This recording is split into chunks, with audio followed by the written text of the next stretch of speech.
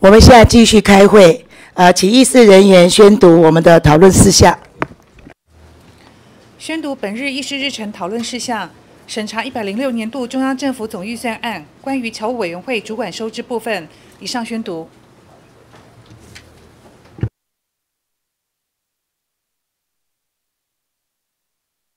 呃，我们介绍在场的委员：罗志正委员、王定宇委员，还有与会的长官。呃，侨委会的我们的呃吴欣欣委员长，还有政务副委员长，我们的田副委员长田秋瑾田副委员长，还有我们的呃常务副委员长啊啊李元荣李副委员长。呃，主秘张良民主秘，综合规划师荣处长荣幼儿处长，侨民处的副处长严树荣，侨教处的处长张锦兰，侨商处处长汪树华，侨生处的处长庄琼芝。秘书室的主任黄克忠，人事室主任张方琪，政风室主任张宗耀，主计室主任陈瑞梅，资讯室主任白宗光，法规会的专门委员徐幼林，华侨通讯社的社长陈义芳。行政院的主计总处的专门委员曾焕栋，财团法人海华文教基金会的执行长李伟农，呃，财团法人海外信用保证基金的董事长林宝熙，啊，财团法人公共电视文化董文化事业基金会的副总经理林乐群，好，那。现在我们就先请呃委员长啊吴委员长来帮我们就一百零六年度的中央政府总预算侨委会的主管收支部分呃来做报告。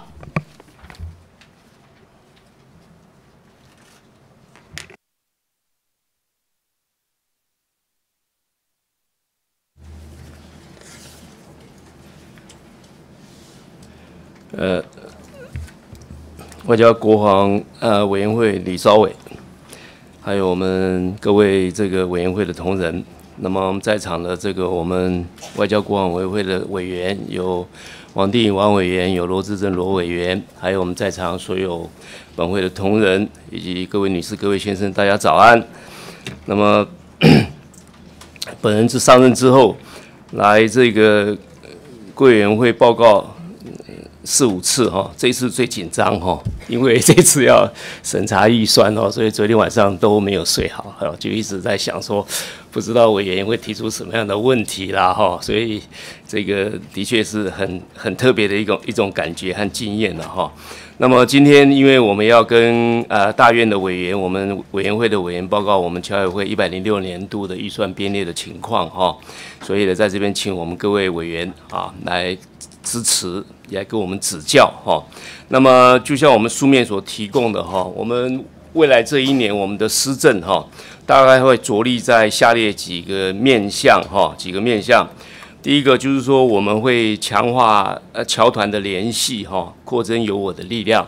那这部分基本上来讲，我们会协导我们海外的侨团举办多元的活动，那么尽量的促进侨社的和谐哈，凝聚侨社的向心。来协助政府支持政府啊，那么另外呢，我们也希望能够透过我们的侨社啊，来帮助国际社会了解我们中华民国，了解台湾啊。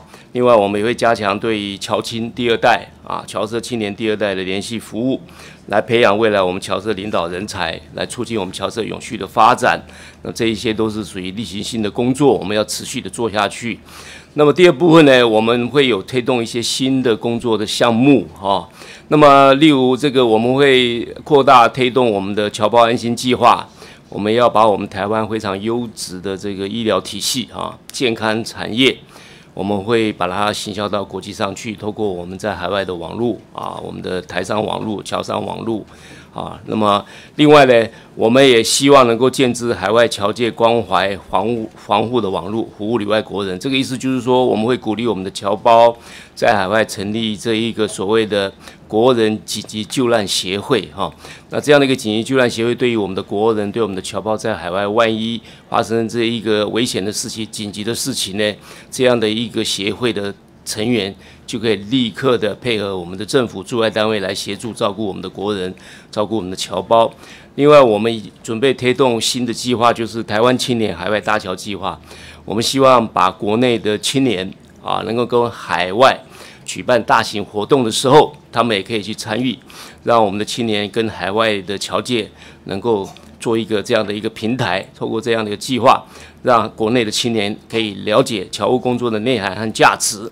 那么，进而支持政府侨务的推展，因为国内这些青年以后到海外读书之后，可能也会变成侨胞啊，所以我们做一个前置性的啊前瞻性的一个规划，侨务工作的规划。那么，另外呢，我们也会提升海外服务据点的效能啊，提供多元优质的服务。来充实更新海外华侨文教服务中心。那我们也知道，我们在海外文教中心有十七个据点，其中有四个据点是由我们侨委会啊国家的呃财力来购置的。那这些据点基本上都已经有二三十年了哈。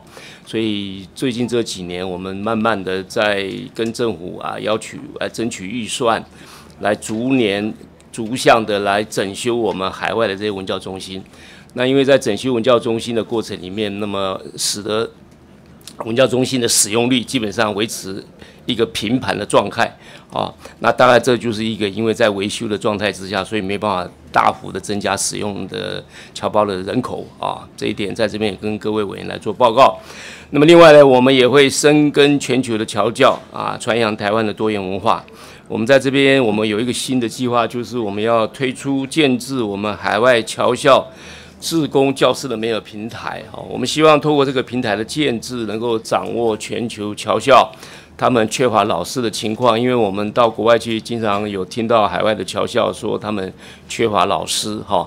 那我们有这个平台之后，一方面我们可以了解需求方海外侨校需要多少老师，哪个专业；另外，我们国内啊应届的大专毕业生，我们待业的退休的老师有丰富的经验。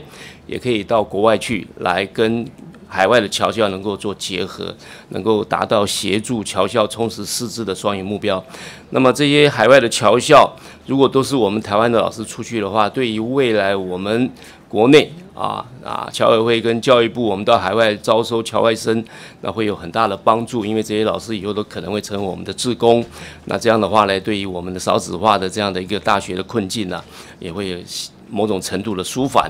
啊，最后呢，我们会继续传承我们中华文化还有台湾的精神，啊，那么相关的一些对于这个学校社团团体的交流啊，那么来发挥我们台湾的文化、台湾的精神啊、台湾的教育这一块的软软实力啊，我想都透过这样的一种运作啊，可以达到一些很好的效果。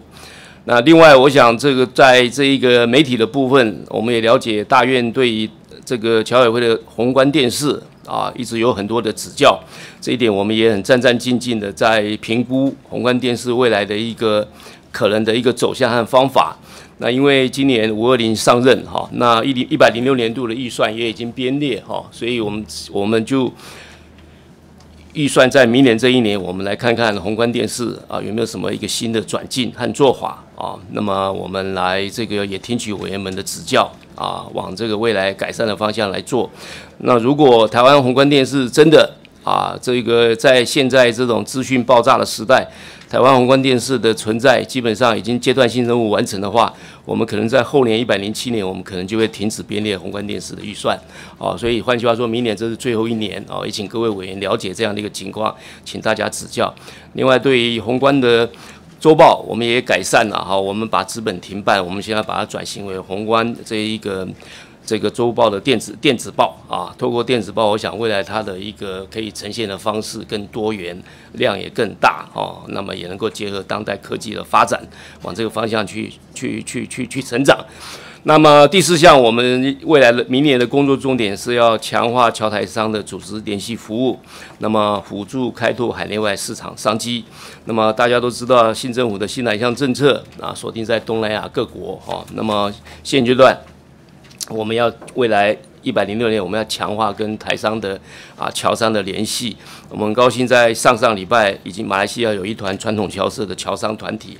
已经很多年没有回来了哈，第一次组团回来来考察我们台湾的投资环境，那我们认为这是新南向政策一个很好的开始啊，未来我们会持续的加强。那么本年十二月二号，那么亚洲台商总会在越南召开这个理监事会，我想我们国内有很多啊长官同仁都会前去参加这样的活动，来加强对台商的联系连结，来辅导我们的台商、侨商啊，那变成我们国家力量的延伸哈。第五项，我们会侨委会未来会在强化揽才、育才、留才、用才政策。我们会培育优秀的这个华裔子弟哈，我们的台侨子弟来为我们台湾所用哈。那么昨天行政院院长也召开了这样的一个会议，我们国内缺工的情况。那么针对这样的情况，我想新南向政策怎么样扩大招收侨外生哈，这也是解决缺工、解决我们人力不足、少子化问题等等一个很好的一个方向。那么侨委会在这一块，我们的海青班、我们的三加四技职教育专班等等，我们都会持续来加强。我们预计在未来。这四年，那么我们希望把这个学生的人数能够倍增啊，那么这一点也是未来我们要努力的方向。那么第六点跟各位委员报告的，就是侨委会的预算非常的少哦，在所有的部会里面，我们大概是排名倒数第三的哈，大概总金额大概十三亿左右哈。那么我们跟各位委员保证哈，我们绝对是会妥善的配置我们的资源。也而且会把钱用在刀口上哈，我们都不会乱花钱哦。这一点呢，我想请各位委员放心，也多给我们指教和支持。那么有关于在一百零六年度我们预算这个编列的情况哈，那么在分两大部分来跟大家报告。第一部分就是税入的部分啊，税入部分，那么各位委员从我们的报告书应该也注意到，就是说我们的税入的预算数啊，是编列了八百一十九万多哈。较一百零五年度法定预算数两千七百六十三万，减少了一千九百七十四十三万。那么主要的原因就是我们简列的华侨会馆委外经营权利金的收入。那么在之前的几次的报告中，我们都跟大院的委员有报告，因为华侨会馆的功能，它的阶段性任务已经完成啊。那我们认为，在这样情况之下，为了让国家的财产有效的运用，那么我们决定在年底之前，已经报经行政院同意，把华侨会馆就转给。财政部国有财产署来做更好、更妥善的规划。相信国有财产署做了妥善的规划之后，未来的权利金的收入对国库的益处，应该会比我们侨委会啊更多哦。这一点，我想大家可以期待哈。另外，我们其他的收入，包括证照会利息收入、权利金、租金收入等等啊，这些我想委员从我们的资本书面都可以看得到，我就不在这边呃赘述啊。另外，在税出的部分，哈，我们跟各位委员报告，我们税出，我们整个一百零六年度的税出预算数编列是十三亿三千两百五十四万六千元啊，那么大概占我们中央政府总预算数一兆九千九百七十九亿呃元的零点零七 percent。换句话说，侨委会的预算只占整个国家预算的零点零七 percent，但是。我们却要服务全球，支持台湾的，支持中华民国所有的侨胞啊！所以在这样的一个资源非常少的情况之下，我们要做出很多的一些工作，这个的确，我们认为也是这个相当这个不容易的事情啊。那么，主要我们这样的一个税出大概分成啊几大项哈。那么原则性的跟大家报告一下。第一个属于一般行政方面，我们编列的三亿多哈。那么第二在综合规划方面，我们编列的四千九百五十万啊。第三个在侨民侨团的联系和服务阶段，我们编列了八千六百多万。那么第四个在华侨文化的社交活动，我们编列了将近六千万啊。第五个在华侨文教服务中心的服务工作以及后续的维修等等，我们编列的一亿多啊。第六个。对于侨生啊回国升学的服务啊，我们编列了一亿五千多万啊。那么第六个，在华侨新闻资讯及传媒服务，我们编列了一亿多万，这其中包括宏观电视的啊一亿三千多万啊。那么第八项，侨民的经济服务，我们编列了九千多万啊。啊，这些都是为了全球，特别是东南亚台商、侨商啊，对他们的一些啊这个服务所编列的预算。那么另外我们也有第一预备金，我们编列了七百六十五万元啊，跟上年度是相同的。此外，我们第十项也有对于海外侨校的发展和补助，我们编列了一亿多，一亿三千多万啊。那么最后一项，我们有海外青年技术专班，啊，还有三加四技术班等等，这样预算呢，我们编列了一亿三千多万啊。这大概就是我们整个明年我们预算税出的编列的大项的一个报告。最后结语，我想侨胞是我们国家很宝贵的资产，也是我们国家在海外力量的延伸啊。那么。我们国家的处境很特殊，我们在全世界，我们需要很多的朋友，更多的朋友啊，大家能够团结来支持我们国家。所以，我们侨委会所做的工作就是以侨为本啊，来凝聚侨心啊，把侨胞的心凝聚在一起啊，鼓励他们来支持我们国家啊，对我们国家在外交上的处境有相当大的一个帮助。另外，我想海外的侨胞都很爱国啊。那么不分是新侨老侨啊，我相信他们对于我们台湾，对于我们中华民国政府，对于我们自由民主的体制，他们都非常坚定的支持。有侨委会的存在，对于全球的侨胞来讲，是一个很大的一种啊向心的力量，也是代表我们。台湾的政府啊，非常重视我们全球的侨界侨胞啊，所以呢，在这样的情况之下，侨委会的继续的存在，那么透过各位委员的同意支持，给予预算来运作，服务我们全球的侨胞，将是一件很重要的事情。我想，我们侨委会未来啊，会配合整个国家政策的发展和脚步，来配合我们委员的指示啊，我们会尽最大的努力，来对全球的侨胞来提供服务。以上的报告。敬请我们各位委员啊不吝指教，并大力支持，谢谢。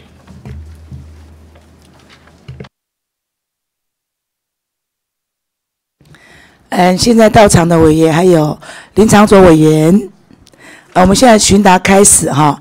本委委员会的委员是八加二，非本会的委员是六加二。我们现在请罗志正委员。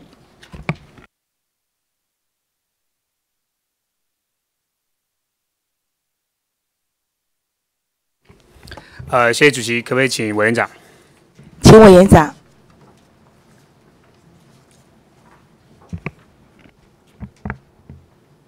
罗委员长，委员长早哈。那个最近大家不断在强调一个重要的政策，就是新南向政策。是。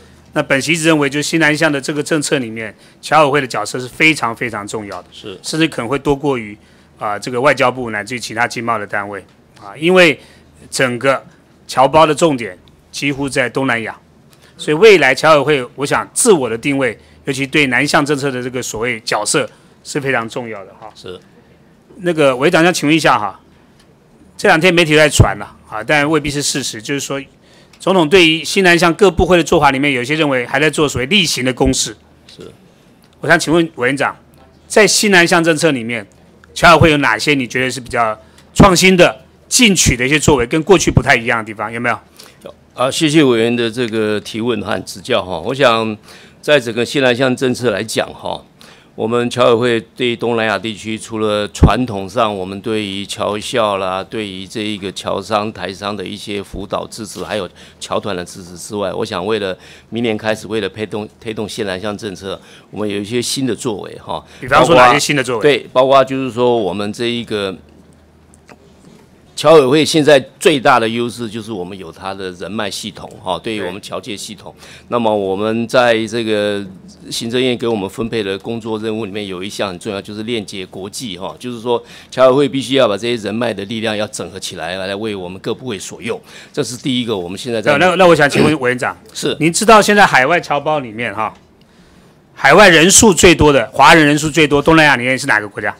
我想应该是 应该是印尼，印尼吧，印尼最多。接下来呢？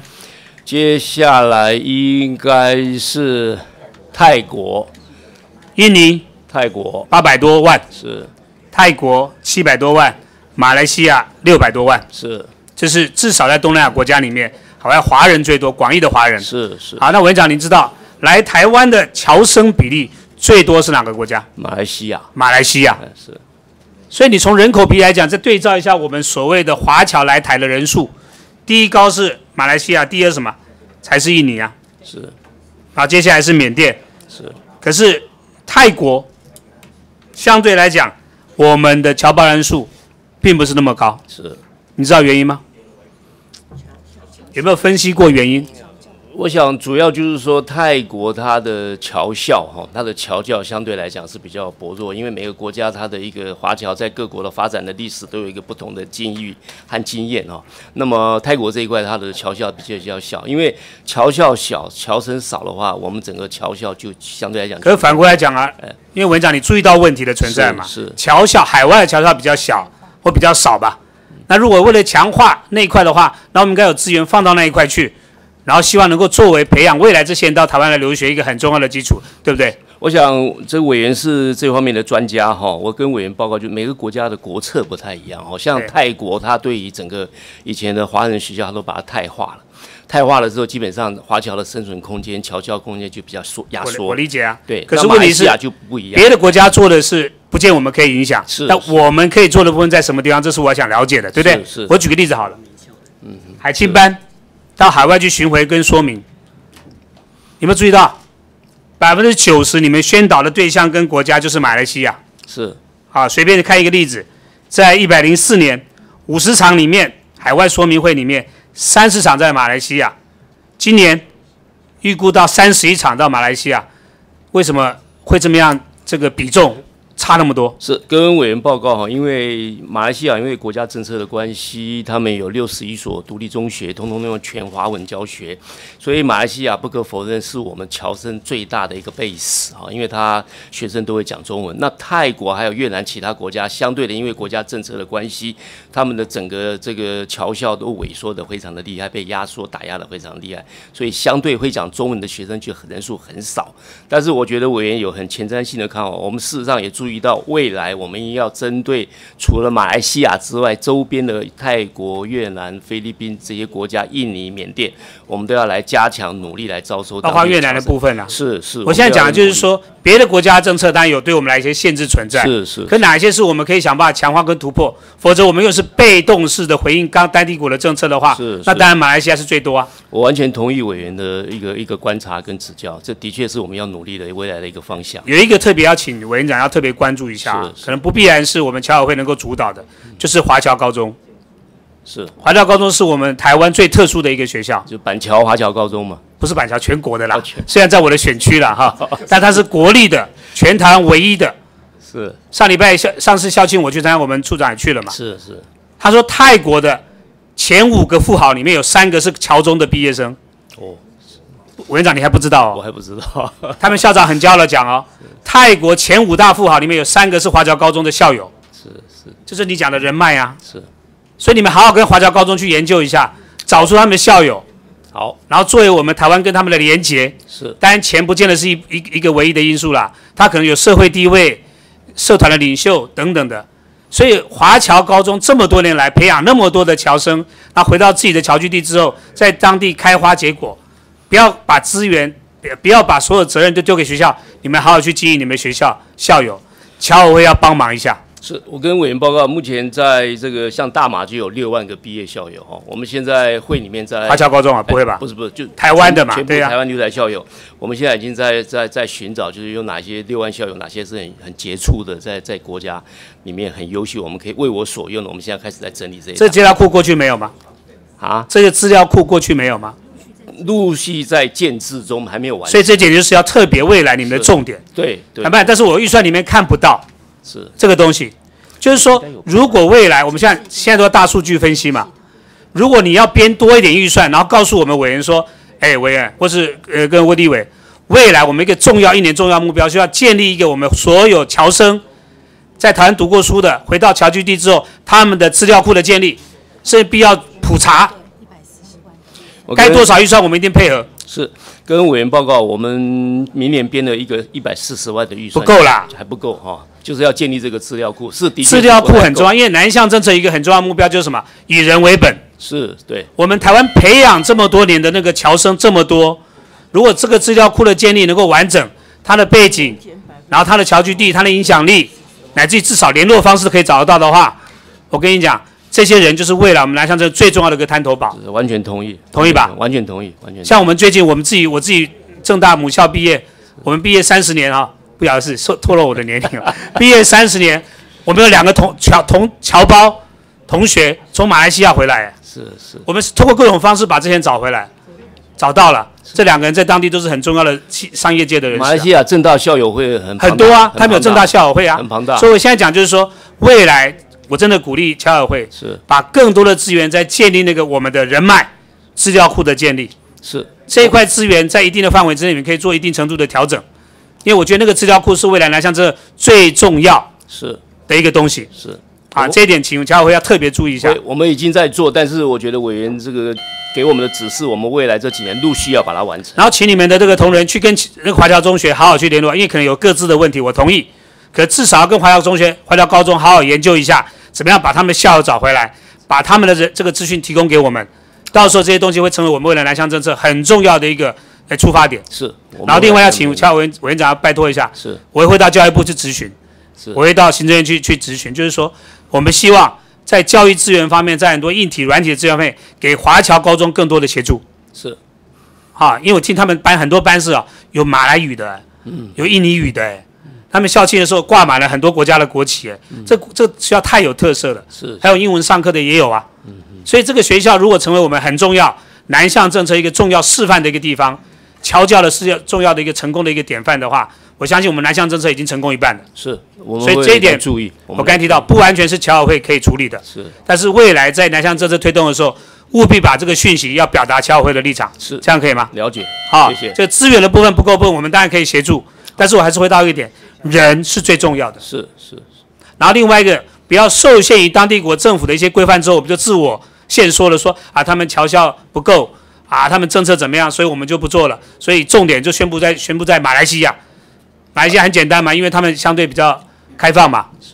那别的国家有困难，我们要去突破啊，是，包括越南，我相信越南一定是未来一个重点，我们越南的侨教的部分，海青班学生人数逐年成长，对嘛？因为这个国家没有那么多限制嘛，对对啊，可能跟印尼比起来，限制没那么多嘛。是那这就是未来一个重点。对，那这点我要特别强调，委员长，我现在没有要求你，是可拜托定出一个目标值。好，我们下一次提供我们规划好来提供未来侨委会的这几个地区，你现在接任委员长，一年之后或是明年度的招生，你希望达到什么样的 KPI？是这个指标可以作为我们来检证侨委会有没有努力达到目标的一个一个绩效考核。好，这样可以吗？我们来努力 OK，好我们来努力，好谢谢委员长谢谢委员，谢谢委员。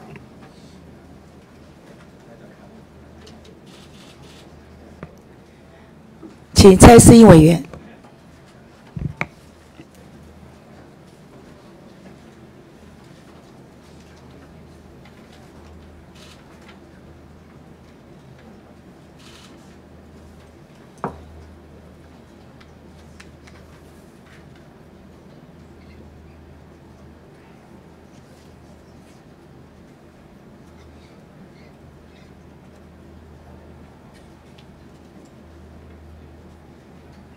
来，主席能不能请我们委员长就备询台？请委员长。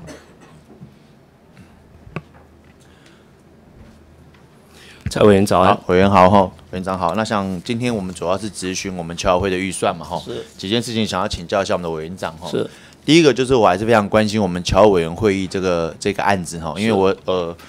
这个我们之前有办个惜别晚会，然后之前开会的时候，我想委员长都非常认真哈，我们所有的人也都出席来前往啊，我也有受邀参与哈。来，是谢谢委员。我现在还是有几个问题，就是说关于侨委员会会议的出席里面哈，呃，我看到我们写的大概就是实际委员出席大概一百六十个，那我想请教一下委员长哈，是今年度的出席的人就是一百六十个，没错嘛，对不对？没错。那实务上现场除了一百六十个人之外，就是到一百六十个人而已吗？还有哪些人？另外有十五位是列席的，十五位列哎席是海外代表列席嘛，海外回来也是海外回来的所以我的哎第一个问题哈，第一个问题就是想要请，这个是我们的这个历次的这个参叙人，那些没有到的委员呐、我们有没有什么机制啊？假设他三年，未来我们改成三年哈，或者他现在是四年，他如果每一次委员会会议都有事情不能参与的话，那这样的侨务委员我们还继续聘用吗？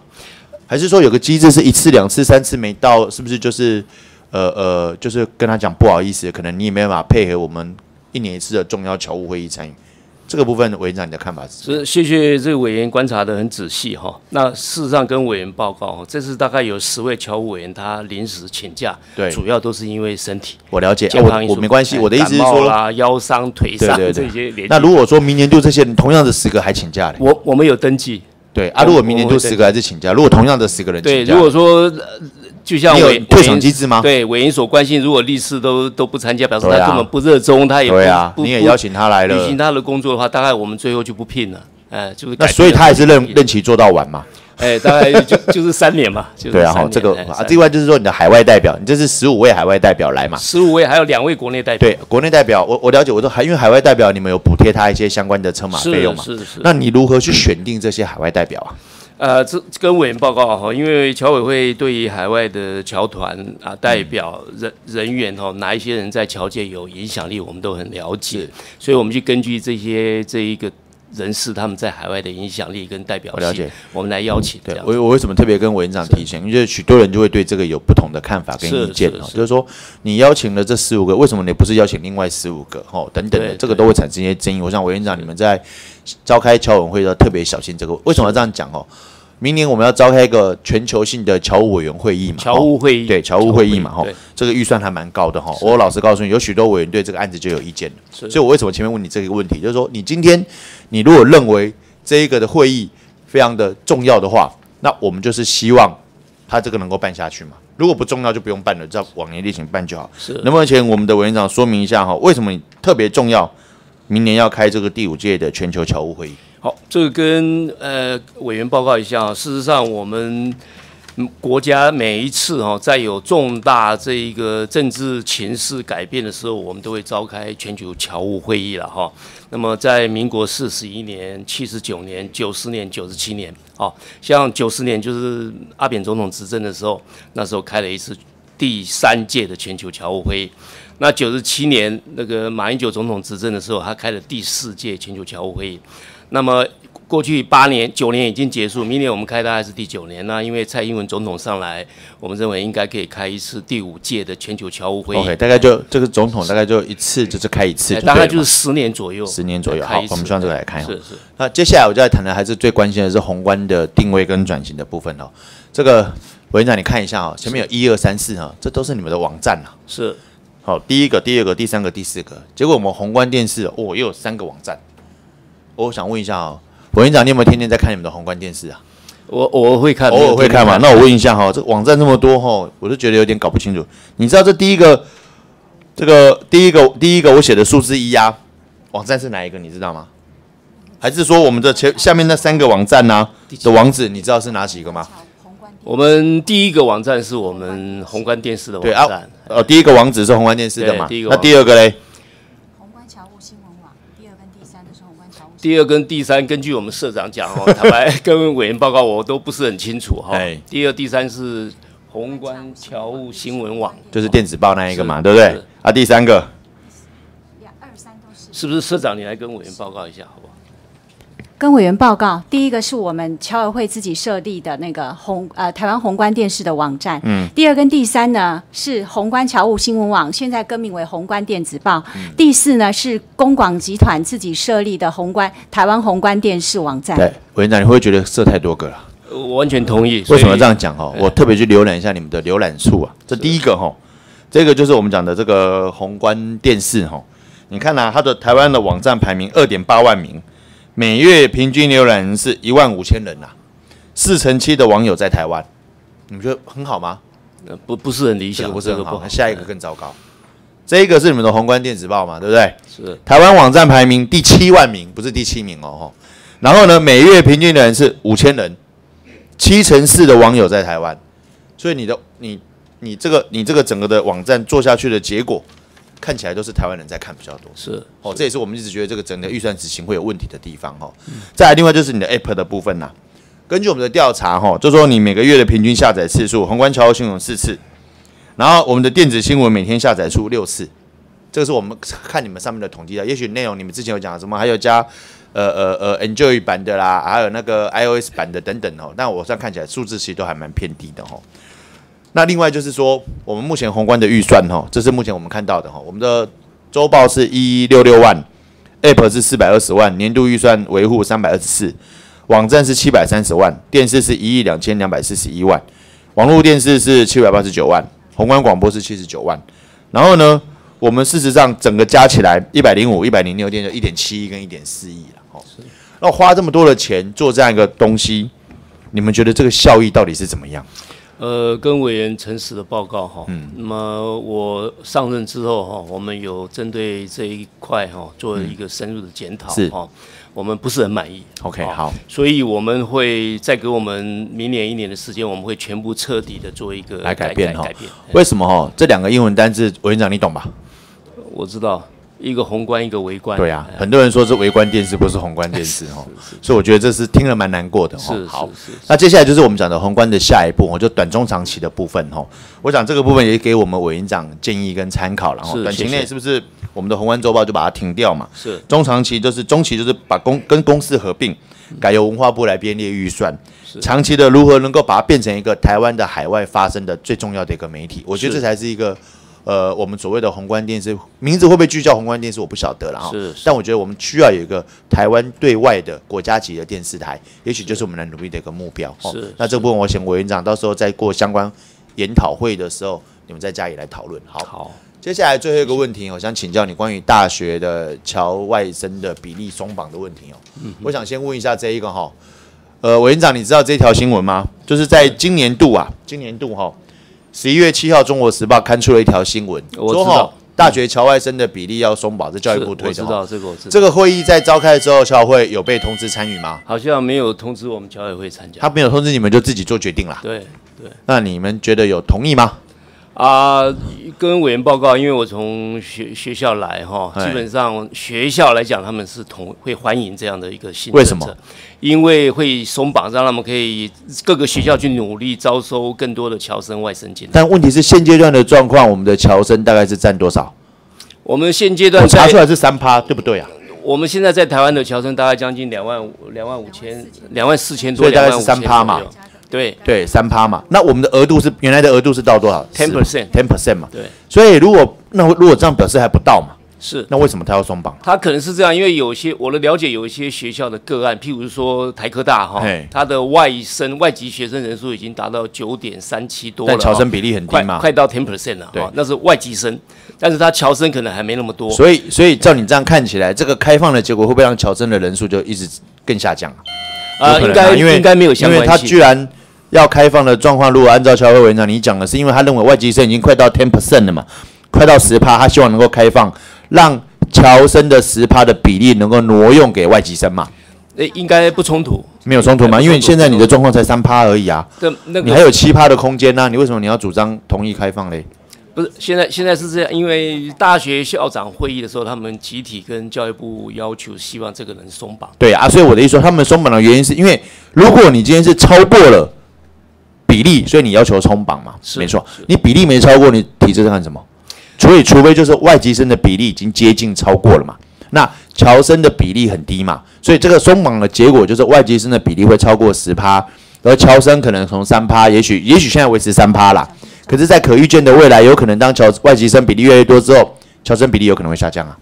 呃，委员的这个研判，我不排除这个可能性，特别是东像马来西亚，他的学生他就可以选择他要做侨生或做外籍生对。，好，这个哈对是给你做参考，因为这个是一个重要的政策改变。谢谢。最后一个问题哈，我们有补助这个侨生的健保补助补健保的费用嘛？委员长，你知道这个事情吗？好，我们现在补助的是补助侨生跟港澳生嘛？是，没错，那我就觉得很奇怪啊，港澳生为什么是侨委会来编预算啊？这大概是有他的一个早年的一个传统。对啊，我问港澳生的主管单位是谁？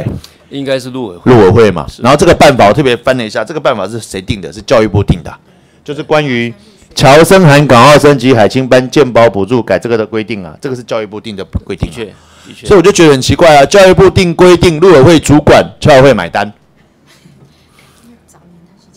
大概就是早很奇怪哦早年很奇怪哦这样一个传统一直下来。对啊，所以我才觉得这是要修正啊谢谢委员把这这是个第一个问题指。出来。哎第二个问题，你们对于这些清寒的补贴，就补就是把他的这个费用帮他补助他们呐、补助二分之一嘛，对不对？什么样定义清寒呐、我我看了你们的规定哦，来就屌了，字有点小哦。他说：“哦，这个清寒文件呐、由留台校友会前一学期毕业的学校、同乡会、侨居地的政府机构或本会指定的保健单位开立。不觉得这个很笼统吗？是这个跟委员我看起来大概校友会大概都是校友会开的啦。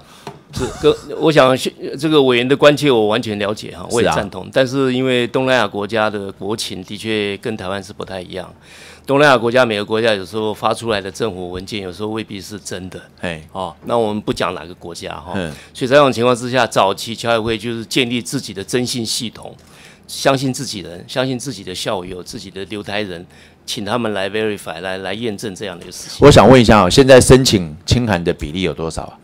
在三万多个学生里面，比例多少？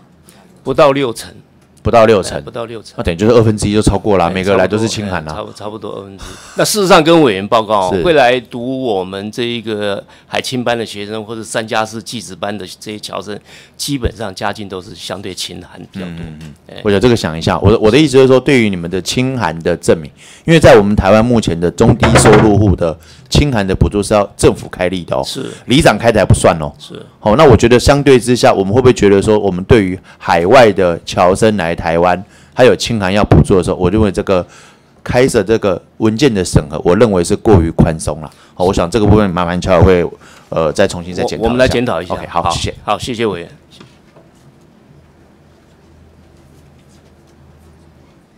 请林长佐委员。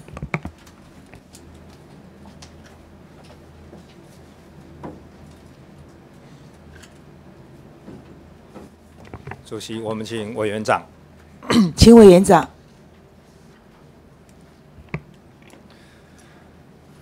林委员早安。嘿，呃，委员长，我想我们在过去这段时呃时间也有看到很多关于侨委会的一些检讨报告，是那跟未来改革的一些方向。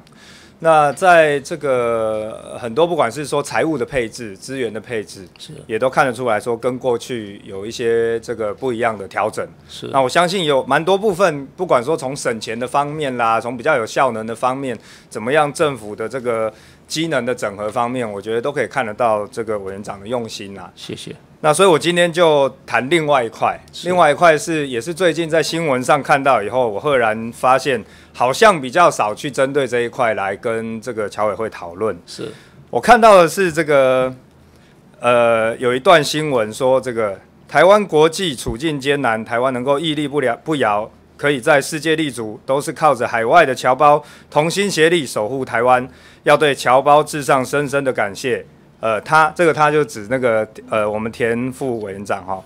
也提到，过去他担任立法委员时，常会遇到来自对岸的人士，他们在当地遭受苦难与折磨，很向往台湾。他想起前总统蒋中正曾说过，台湾是自由民主的灯塔，因此台湾继续坚持民主自由，对华人世界，特别是对中国百姓有很大的意义。这个是在官方新闻里面，今年的五月二十一号，已经有一段时间了啦。那我我差一点，我读到这个新闻稿的时候，我差一点都要检查这个新闻稿在前总统跟蒋公中间有没有空一格。我发现好像没有空一格。当然，我不是来这边要求未来要注意这个对蒋中正先生的尊敬，应该要空一格，不是这个意思。我想比较重要的是，我想第一个先请教委员长，现在台湾享有民主自由，是但是在蒋介石独裁统治的时期，成千上万的人被抓被关。你认为那个时候台湾是自由民主的灯塔吗？呃，那时候我认为应该是威权统治吧。是，所以这就是我在这边要提的，就是说，嗯，我知道侨委会哈，所以这这一段这个由我们这个田副委员长田副是老委员长朋友啊他他出去的时候受罚。对，那个时候我是是我看到是这一段是由您您这个发言的时候，我还真的吓了一跳。所以就是说，但是我知道侨委会过去在这个渊历史渊源，从这个党国时代一直走到现在，那本来就跟国民党密不可分呐、他本来自己的体质基因，所以侨委会过去他曾经是公开接诸说要以党务为核心开展侨运，这个是过去他的这个历史基因呐、他的宗旨就这样说。但是我想请问委员长或副委员长，现在还是这样吗？以党务为核心开展侨运，我当然就不是了。对，所以我想这个这个基因可能存在那边。那也可能因为这样的渊源，他留在这一个部会的体制里面很久。就像我们前一阵子有一这个我们的委员对国防部里面的这个军歌提出说，怎么还可以这个是在这个尊敬党旗的这种概念在里面。我想在我们很多政府部会里面，他遗留下来的很多事情到现在还没有改变。那这也是我为什么在这边要跟委员长提，就是我们注意怎么样资源配置对，人员的配置对。跟其他的政府的机能能够整合、有效的运用有限的资源发展侨务，这都很重要。是，但是我们过去几个月可能没有去提到那内容的部分。我们内容的部分怎么样？例如说，我在这边再举一个例子，这是二零一一年的这个宏观电视里面有一段节目，它的是这样子讲的。我最近还我没有把最近这这过去几个月的去仔细的看，但是我查到这一段，他说透过影片。我们怀着一颗感恩的心，回忆我们心中的先总统蒋公。这个不是二十年前这个是五年前。那这个，我想我知道这个委员长哦，应该知道我的用心呐。因为这个世界上国国际的历史上面，已经都是这个客观的认定蒋介石先生这个杀人如麻的独裁者。在全世界有一个地方，把它包装成为、美化成为民族的救星，就是在台湾曾经的这个威权时期。那马政府时期，他带的这个侨委会，在过去几年来，是不是用一样的这样子的意识形态，那维持着这样子的党国遗绪，包括海外的活动啦、文宣啦、宏观电视等等的影片内容，他会比较，我可以理解，我不认同，但是我可以理解。他可能会比较缺乏现代人权自由的这个价值，那也会缺乏台湾人民争取民主自由的这一种故事。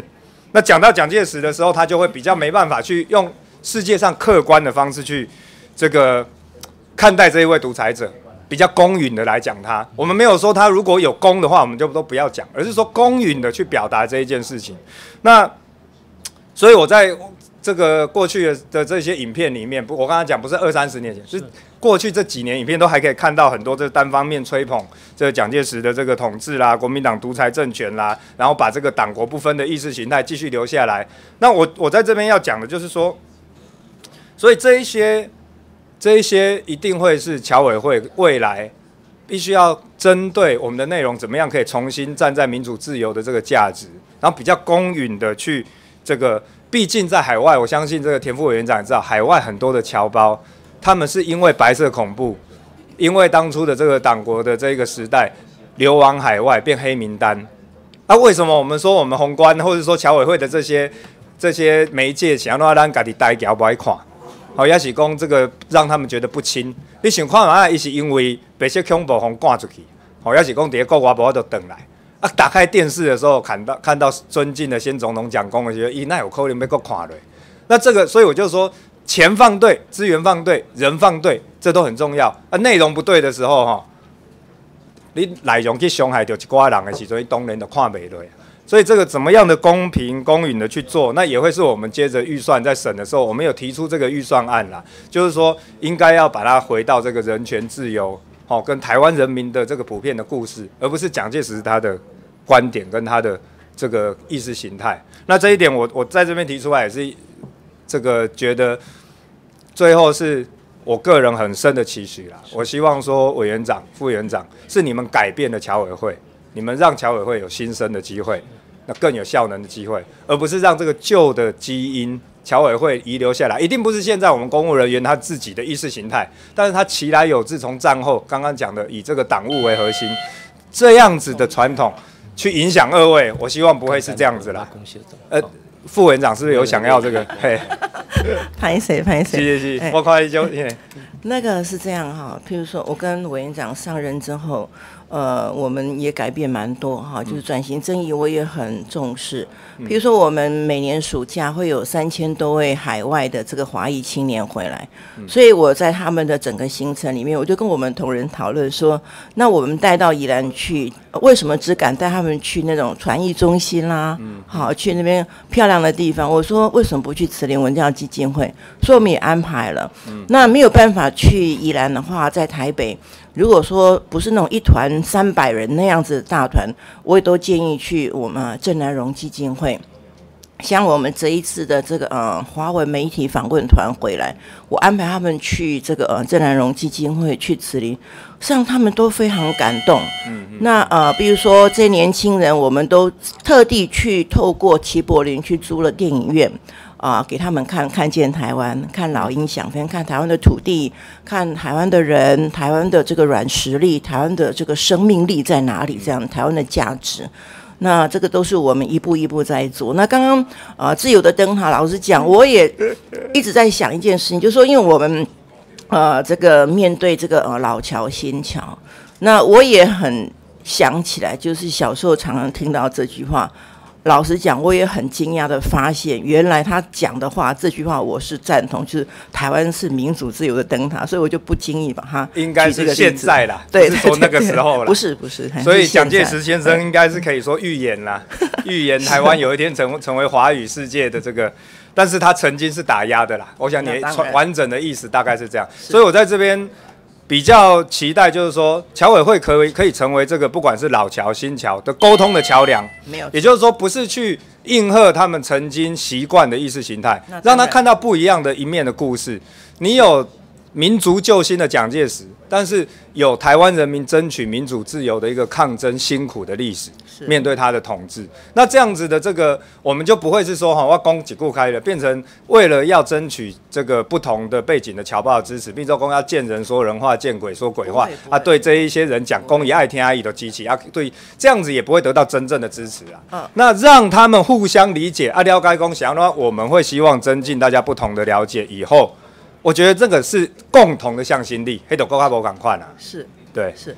呃，那个林委员，我我最后三十秒啊，嗯，我到海外去见到这些呃传统的侨社，实际上让我很感动。他们跟我见面的第一天就跟我讲说，他们在美国住那么久，他们觉得他们虽然过去都支持国民党，但是他们认为政党轮替是非常正常的事情，甚至于跟我讲说，他们支持的是国家，不是政党。所以我是觉得说，事实上我们是有非常多的共同点是可以沟通的。所以就在这边也是期待说，未来在内容上面，那我们也可以看到一个更公允的这个把关啦。好，多谢，谢谢委员的指教，谢谢，谢谢。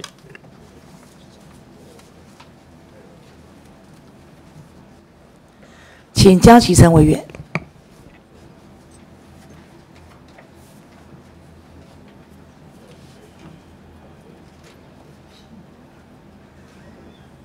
好，谢谢。呃，请主席邀请委员长，请委员长。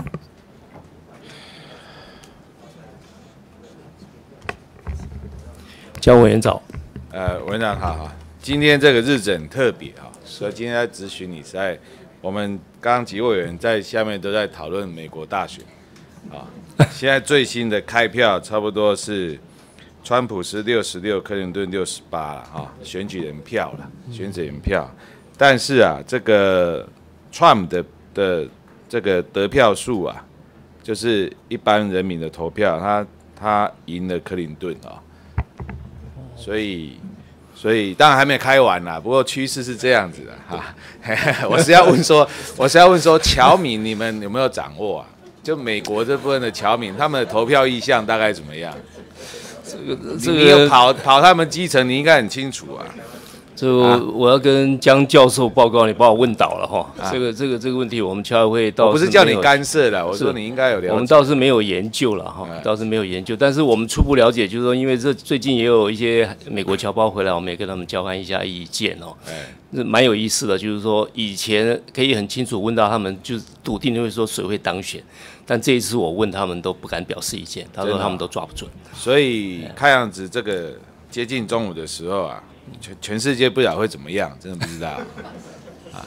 因为台湾，你如果看现在台台股啊，刚才听说好像台股是下跌的啊，所以这个开始严肃起来了，真的真的啊，越接近投票的那个开票的尾声啊，呃，真的世界局势在在转变也不一定啊，所以我们也希望说，侨委会尤其我们的侨胞都在海外。所以我想，美国的政治跟他的选举的结果，势必影响全球的政经关系。是啊，那尤其在经济这一块，啊，绝对影响啊。所以我想，侨委会也应该要有所准备啦。是是啊，面对在外的这些侨胞，还有我们的台商啊，怎么样面对新局啊？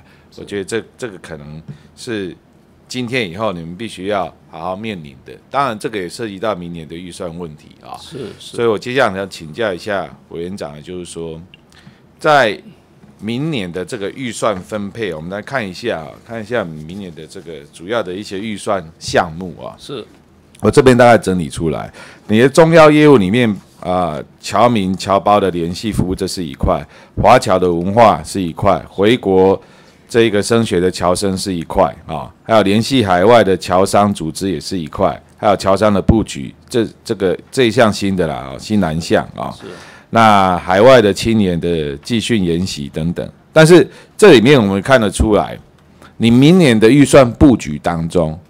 可以很清楚看到，你都放在新南向这一块了，啊，这个或许是当然应该也是因为呃上面的政策指示啦，所以你们在预算上面也做了这样子的布局啊，这个我可以理解，但是呢，我必须要提醒的是说，侨委会的组织法里面其实规定很清楚，你侨委会的主要业务是什么，我们是啊，你不要把这个你的业务啊做的比国贸局还要积极啊！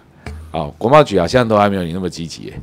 我想这哦个在我做的是预算比例，不是预算的数额。是是啊，在比例上面，其实你们明年在在整个新南向相关的这些布局的项目，其实是有比较大幅的增加的。啊，在这业务配合上面，反倒是一些侨胞、侨民的这些联系的工作，还有侨教文化工作是删减的。啊，你们自己往下调的。所以这个某种程度上，我比较担心的，第一个就是说，会不会跟你的跟你的组织的宗旨啊有所背离啊？这个是你要注意的啊！你不要说哎，做的比经济部还要 over，然后招生比教育部还努力，啊，那就有点背离你你自己本身的组织的宗旨。第二点是什么？非新南向地区的侨胞，那你要怎么交代？对不对？新南向我们知道主要是针对东南亚跟南亚，但是我们的侨胞很多是在北美啊，啊，是在其他地区啊，在欧洲啊，啊，那这些你要你要怎么交代？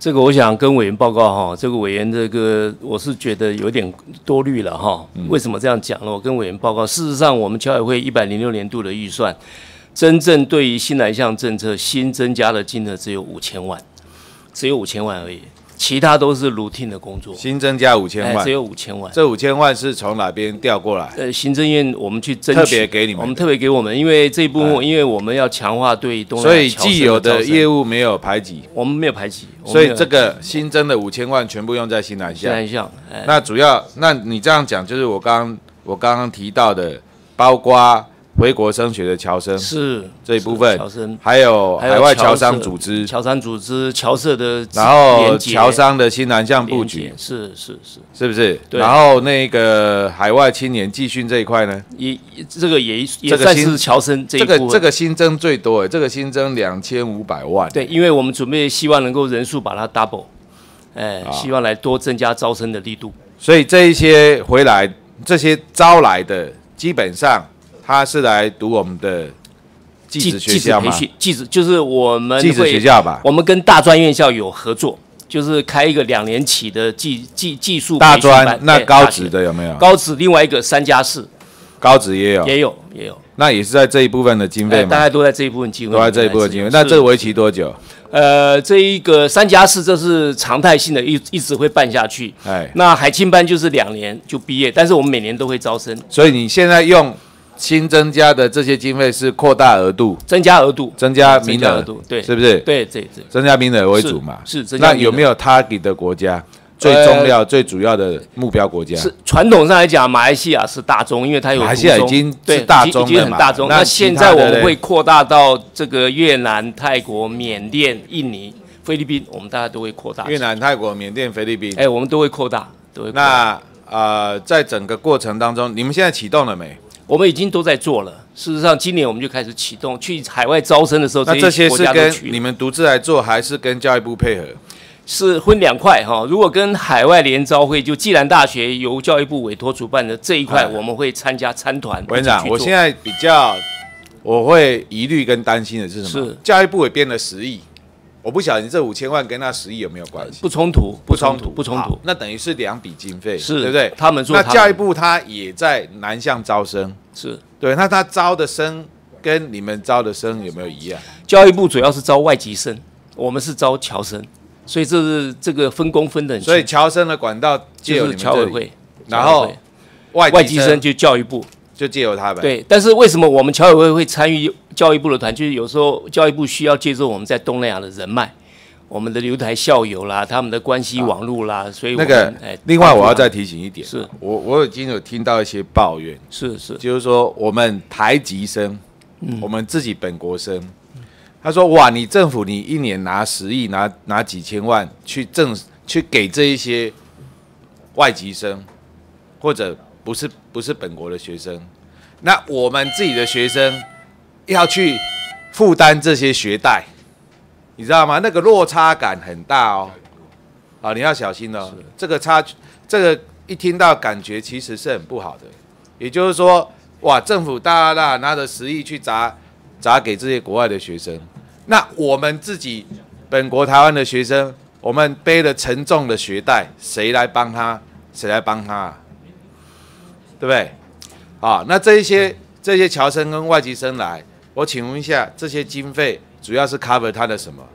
他的学杂费吗？他的生活费吗？有有一部分我们就是比照国内清寒子女的这样补助方式，补助他的一些学杂费，还有他的这些清寒奖学金。所以，比如说他们来念我们的高高职是大学，他们基本上要付出的学费是多少？如果他来读我们三加四，就是从高职开始读起三年，然后再升到这个科技大学。那基本上来讲，我们对于每一位来读高职的侨生，我们一学期补助他好像是一一万七千块台币，一万七千块台币。然后另外他自己还要负担，大概相对也是五五千块的学费，还有住宿杂费都要自己负担这样子。住宿跟杂费，其实当然那个都那个自己负担是是那国内的学费是国内学生是完全免费，那但是国内的学生是完全免费，国内哪会完全免费啊？清寒的都完全免费，都不要负担任何对啦其其实那个你说清寒的标准，那已经到达是是某种程度上我们社会里面很弱势、很弱势的啦。但是我现在听到的抱怨，不是这些清寒的，清寒的本身就有拿到政府的的救助嘛。是是现在是一般生，我们一般的大学生，他背了沉重的学贷，是他为什么要背学贷？因为他不符合清寒的标准吧，对不对？所以他要去付这个学贷嘛。那他一听到说哇，政府一年要砸十亿给国外的学生，哎，他听不下去哎，你知道吗？我们同委员长仁一直跟我说，那啊，十亿你说是教育部，对，那十亿是 教育部，可是你侨委。会砸了五千万啊。那那我我们请田务哎，你来知道台湾现在一年的学贷几十亿哎？嗯，委员哈，啊因为我进侨委会这一部分是我督导了哈，我也非常注意委员这个问题，我也不断的在问这个问题啊。那呃，我想跟大家报告一下哈，就是说为什么我们要去补助这些清寒的侨生哈？我想委员很清楚这些清寒的侨生他是什么样？你用什么样的标准？是跟国内一样的标准来界定他的清寒程度，还是说用当地的标准来界定它的清寒程度？呃我想这是不一样的。委员，我们这么多年来的这个侨教哈，大概培养了十二万的侨生，其中有这个嗯六万到七万是在东南亚。那像东南亚的台商也很清楚的跟我说哈，如果家境比较好的，他们都要把孩子送到欧美去。所以事实上是家境比较不好的孩子，然后我们加上我们国家有这么一点点小小的补助，然后我们长期招生这些保健单位的老师去跟这些家长拍胸脯，好，把孩子交给他们。副园长，你要讲我大概都可以理解。对不起，就是委员，我们为什么要招侨生？实际上，这个有我们国家的外交红利在里面。我知道，我知道，你误解我的意思了。是我不是反对说你去给他诱因，要他来台湾念书。我当然也知道啊，我们留学国外，我们都知道，到那个当地国留学之后，你对那一个国家会有不同的感觉跟感受，这我是同意的。从台湾的外交角度来讲，这没有问题。但是我要告诉你的是，今天这些资源砸下去的时候，你必须确保，尤其是教育部那十亿。所以我刚刚一直问你有没有重叠，对不对？第二个，我问你的对象，啊，如果你没有讲清楚的时候，我跟你讲，很多的一般生。他感受是很不好的。再过来，这一些招生的过程里面的资源啊，我建议侨委会啦，你们有很多台商的资源。其实，如果当地有好的人才，我们的台商认为也应该送回来台湾，送来台湾受教育。为什么不能跟企业合作？为什么一定全部要拿政府的经费来做这些事情？包括教育部，其实为什么不跟企业做结盟？你既然要东南亚布局，你既然要新南向，你也鼓励企业到南向去，为什么不在人才培育这一块跟企业结盟？我们跟委员报告，这样子才能够训练出来。第一个，其实对他们这些侨生也好，他训练完之后，接受台湾的基础教育之后，哎，他企业可以用啊，他可以到南向去布局啊，那不是很好吗？是对不对？然后学费部分可以请企企业帮忙负担，就用学贷的概念嘛。台湾的学生要缴学贷，国外的学生来台湾念书，我讲的，如果说他家境不是那么的清寒的，也可以用学贷的概念，但是把企业拉进来，训练这些人才。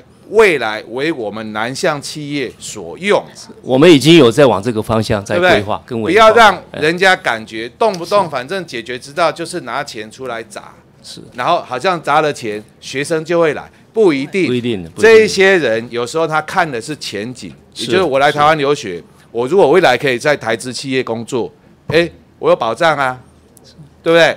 或者台资企业愿意培养我回到我的母国。我的东南亚的母国创设分公司或者督导分公司，这很好啊，是对不对？所以我拜托侨委会、教育部、经济部，你们应该跨部位，如果要搞新南向，就搞真的啦，不要只是砸钱，不好啦。我们侨委会没有什么钱可以砸。局长，我提出来，放心，这个部分啊，我们预算上面我会特别来来来加以谢谢委员指教，谢谢谢谢。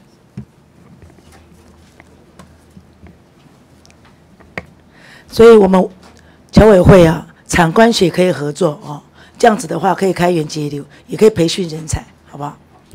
啊，我们请王定义委员。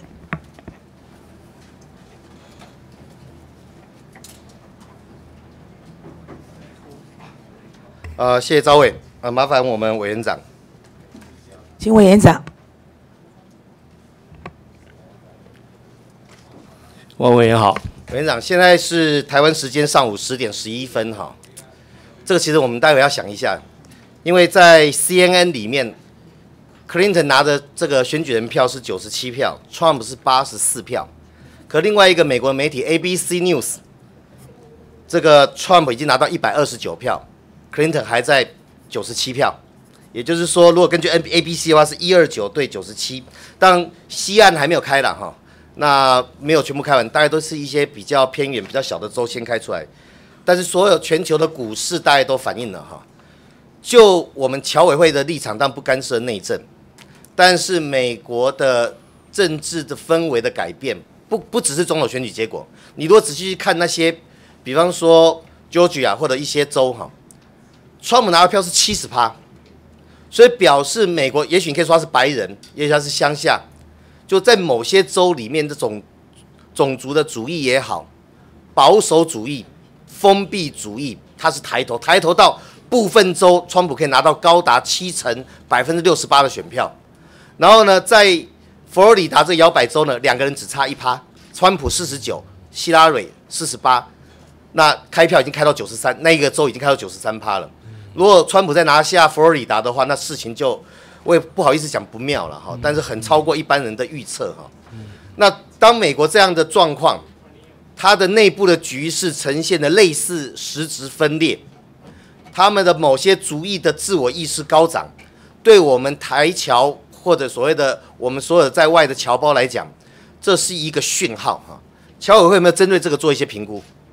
呃，跟委员诚实的报告，我们目前为止还没有针对这个美国选举的结果做认真的一个评估啊。我这个东西其实对侨委会但是谢谢委员给我们侨委会跟外交部研究的范围不一样。我刚才特别讲，是选举的结果谁当选，我们还不知道。是是但是美国已经呈现一个很明显的现象，在有些地区，特别的主义、自我保护、自我意识已经高涨到反射在投票行为，是是。而这个行为会呈现在很多面向，所以特别我们侨胞在海外的时候，如果面对这个状况的时候，其实是要要小心的。对对，所以如果侨委会对这个部分没有研究的话，这个不对哦。谢谢提醒，我们会很快来哦，所以你们不是注意输赢这一块，是是。而是注意到美国他们里面为什么会有一些州集中性的投给川普，是是。所以造成川普实质的普普选票是过半，五十四五十点多趴，Clinton 的普选票是低于五成。那纵使 Clinton 在 CNN 的普的选举人团票赢过川普，但是普遍的普选人票是川普领先，而领先原因就是我刚才讲的，有好几个州七成左右的票是集中给他哈。那个对我们如果有侨胞在那个州，我们要不要特别采取一些注意，要一些观察观测？因为我们资源有限，你们才十三亿的预算，是好，所以这个部分你们如果到现在没有注意的话，我觉得要赶快补上这一块，因为中午就知道结果了哈。好，我谢谢委员的提醒，我们会来注意这个。第二个，我要我要请教委员长的哈，你你知道美国在二零二零年要进行人口普查，这个你知道吗？哈，是所以我们台侨很多在推动人口普查的时候，要把台裔的选项列为选项可以勾稽之一。这代志你知道吗？我有听讲，哎，那你我们教委会对这事情的看法是什么？呃，基本上我们认为这一块哈，应该是由外交部来政策上做一个不不，主导。这个是我们的啊侨胞，是那他虽然是美国的 citizen，是但是他们现在美国的人口普查，二零二零年要进行，不久的将来喽，三四年而已。是那可以勾的选项目前没有台艺这一块，是所以台湾人社团有人在推动增加台艺的选项，是这件事情当然是侨委会的业务啊。我现在问侨委会对事情的态度是什么？我想我们这个 我们会关心我们侨胞在美国这这社会的一个这样的情况。对于这样的一个选项，如果我们有海外的不侨团在推动这个不，工作，你们赞成还反对？侨委会我们会支持。你们是支持持增列台裔的选项？对，当然要增列台艺选项。在今年的十一月五号，十一月五号呢，你知道外交委员会对我们台湾还蛮友善的。Air Royce 是我跟蔡总统到美国拜访的时候，Air Royce 还在加州有来见面。是他是美国外交委员会主席，在十一月五号，有南加华裔社区组织 Orange Club、南海岸中华海岸协呃南海岸中华文化协会、美华联、美华总、北大校友会，这个北大不知道是北京大学哪个的北大，再来世界越检辽华人总联合会等数十个社团代表跑去找 Airways，因为他们在选举，说什么呢？十月五号说不可以有台裔的选项，台一的选项是分裂华人的认同，台一的选项大家都认同是自己是华人，有台一的选项会影响他们对 A Royce 的支持。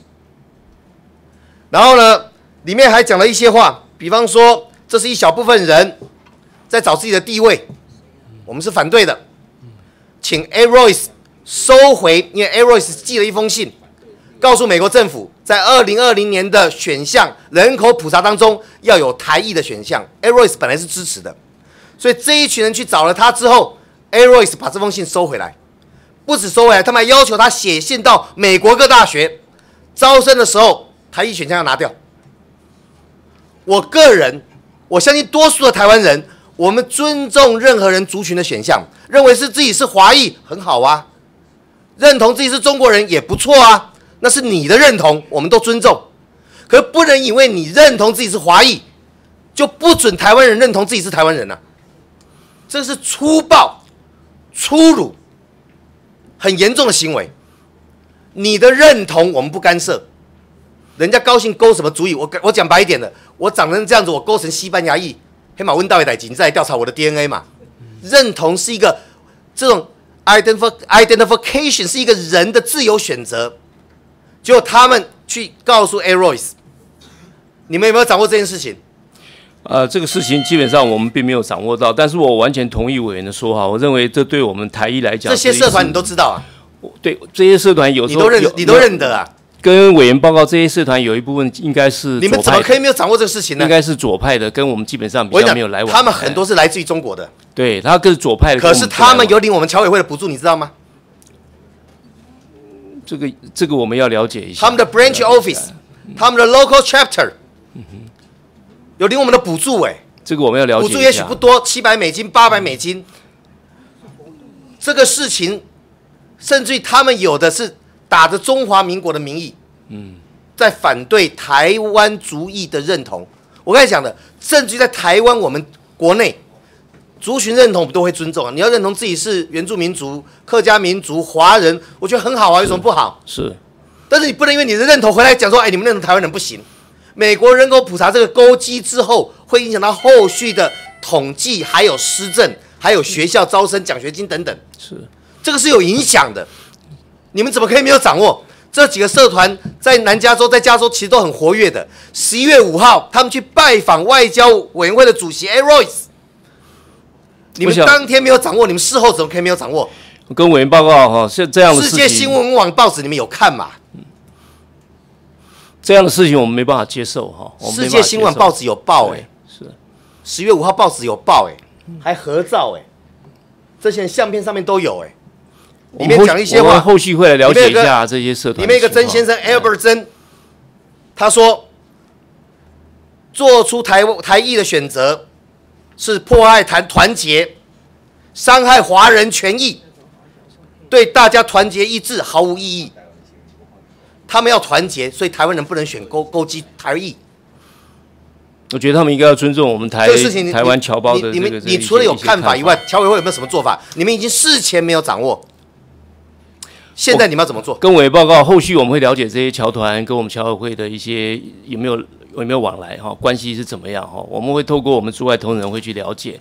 哦，我这里有一份侨委会的补助是社团名单是，有啊是，我不反对补助他们啊。我说过，任何人的族裔认同、认同华裔、认同中国，我觉得那是个人的选择，百分比多少只会才会形成主流意见。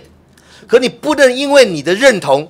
就不准人家的认同，是我同意。就算早期台湾，因为汉民族的认同，所以原住民都改姓，要信潘、信曾、信什么，那是错误的。可现在这个事情在美国发生，而且 A. Royce 已经收回要求外交委会发函说可以让台裔有一个勾有一个选项，所以本席在这边要求侨委会是，如果侨委会认同，其实就让他勾嘛。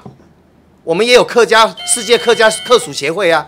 就让他去勾选，如果你们认同的话，你们应该要有一些做法，是，比方说，以台湾的侨委会的立场，让美国政府知道你能够普查，可以增加台裔的选项，这对我们在我们的 overseas Taiwanese 是有注意的，是是，也可以协助我们台侨的社团在游说的工作上，这是我们的态度。然后第三个，我们本来尊重你，结果你反过来说我们不行的。一毛钱都不可以补助，是，这三点可以做得到吗？做得到。我我我我建议最后一分钟哦，是，因为我们侨委会过去的做法都是，只要认同我们的就是朋友，只想白一点，反共的我们都要，所以不分老侨新侨都是我们认我们要的，华侨台侨都是我们的人，我我都觉得这个做法我们可以尊重。但以前认为反共反中共就是我们的对象，可现在如果有人打着说我是认同中华民国。就回过头来反台湾，打着中国人认同，反过来威胁删除台湾人台裔的认同，这个就不能在我们的合作的对象了。这个我们没办法。否则我们像加州，我们那个中华会馆现在被根本就是被中中华人民共和国那边人占下去了，我们连董事会都输他们。我们就是因为这样的错乱，被他们整个打进来，那个叫渗透破坏。是哦，所以。这件事情你们事前没有掌握，我觉得非常非常非常遗憾。新闻报道之后，你们还是没有掌握，我更加非常遗憾。可接下来我要看你们未来做法。是，谢谢。所以，那我们我的时间到，我带副院长，你可以利用其他时间来说明哈。我我给你三十秒。对不起，我觉得这件事情完全违反我们台湾努力这么多年的互相尊重、尊重多元的价值这样子的一个基础的哈政策，所以我就觉得我们一定会非常严重的面对。你们要追究当地驻地的人员，怎么没有掌握这个讯息？那他派在那边派在做什么？是数十个社团呢这个事情，我们一定会去追查。去拜访 Air Royce。好，谢谢。我们再跟王委员去办公室解释哈。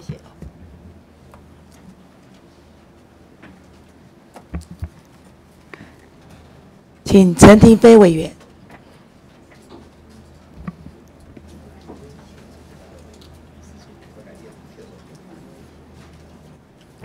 呃，谢谢主席好，我们请委员长。请委员长。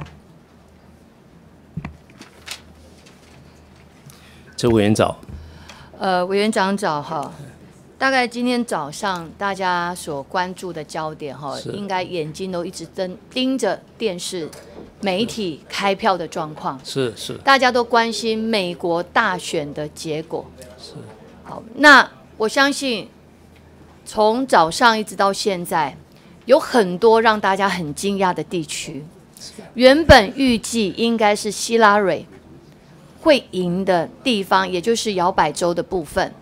虽然摇摆，但是还是认为应该希拉蕊还是有他绝大多数赢的机会。可是居然开出来，并不如预期。所以我相信我们必须很慎重面对今天中午开票的结果。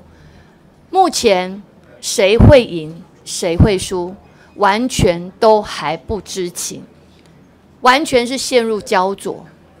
但是希拉蕊当选，还是川普当选，对于在未来我们在整个侨务工作，一定会有不同的一个改变。那到底你们有没有不同的演练？事前有没有不同的演练？希拉蕊当选，我们第一时间的态度是如何？然后川普当选，我们又应该如何面对？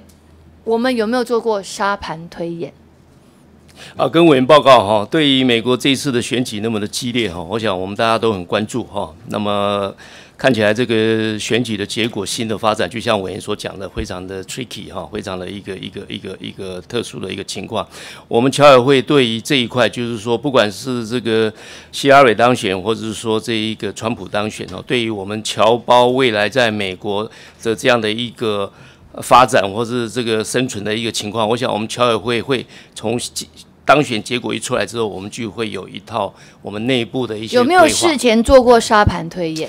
诶，跟委员诚实的报告哈，因为这一次的选举，美国选举非常的特别，扑朔迷离哈，所以都在观察哦。我们现在都不不确定谁会当选，但是只要结果一但是今，天我们所谓的演练就两个候选人嘛，是不是希拉蕊当选就是川普当选嘛？那因为他们是陷入焦灼，是在选前的民调，到了出口民调，还有到了今天真正开票，其实都面临到他们基本上就是焦灼的状况。是是那当然，你们应该要事前去了解说，如果是希拉蕊当选，又是面临什么样的一个侨务状况？川普当选，我们又应该面临什么的侨务状况？这本来就应该要沙盘推演是啊！，我们你怎么会说在第一时间，如果知道结果之后，我们再来应应？我想这个部分我们确实太慢了。呃跟委员报告，事实上，我个人已经有一些想法了哈，已经有一些想法，但是这个东西也不方便公开在这个，因为这个嗯媒体是全球直播的哈，有一些牵扯到比较敏感的呃没有问题双边关系哈，委员长。委员长，我们不希望说中午开出来结果之后，我们面临所谓的侨务工作，我们是乱了方寸。不会，我只是要提醒你，是。我只是要提醒你，是是。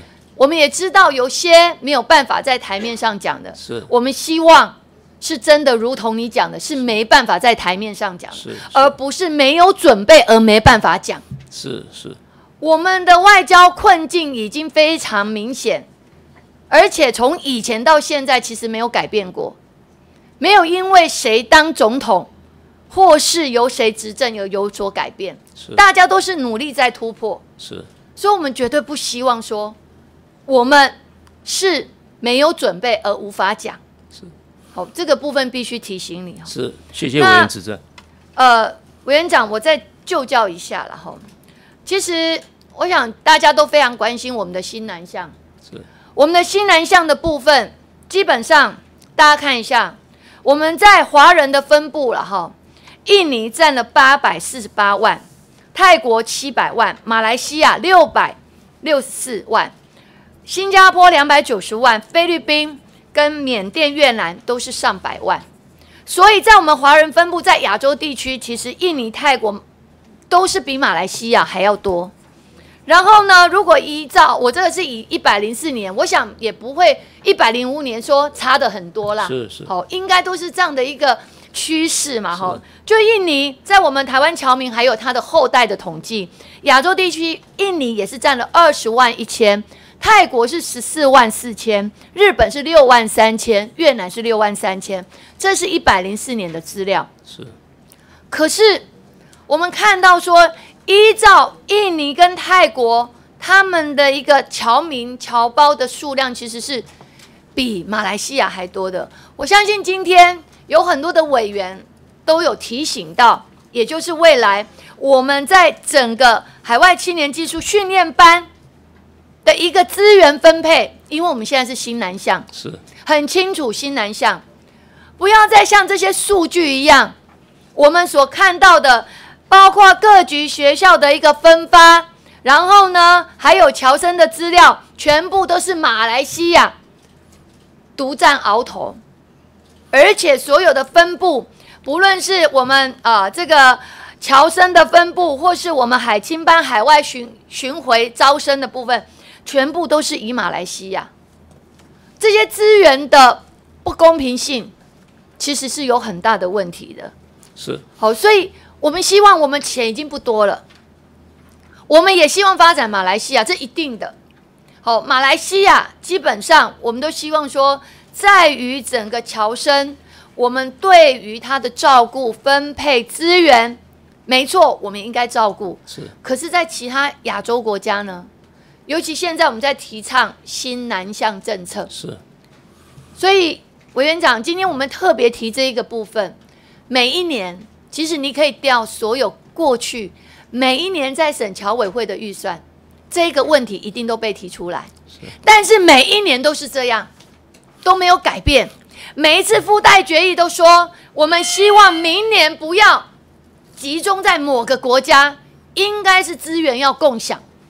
每一年哦，好像是那个录音带又拿出来放一样，这代跟委员代表什么？跟委员侨委会都没有检讨啊跟委员报告哈，我跟你保证，明年就不会了，保证呃保哦，证不会了。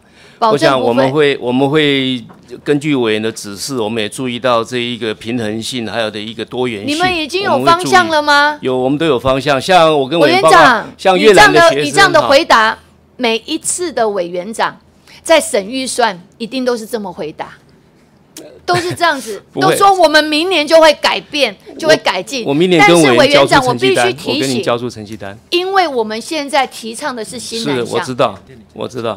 我那个们指标性又更明显。好，所以这个部分我们希望应该要做出成效。是到底从明年我们要怎么调整？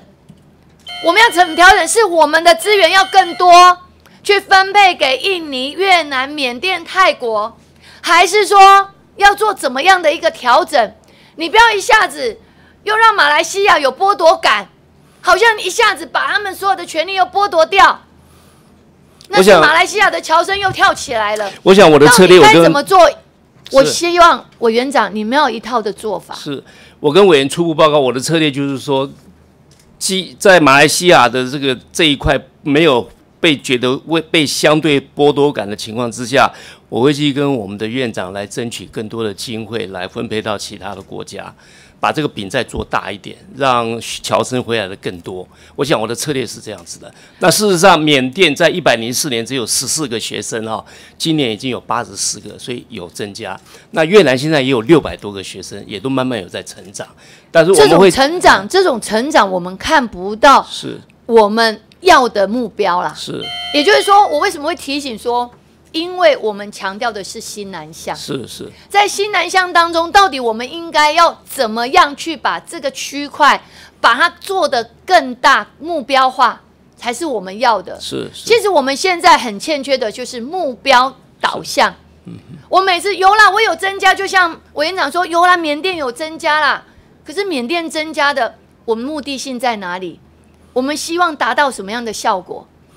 我们的效果很简单，我们希望缅甸的呃这个侨生回来台湾越多之后，会强化我们台湾在整个缅甸的影响力和我们的你要相对的把这些跟后端的目标，只要把它 match 在一起啊，是是是不是我们只有增加那后端呢？是所以我们希望是整个计划性。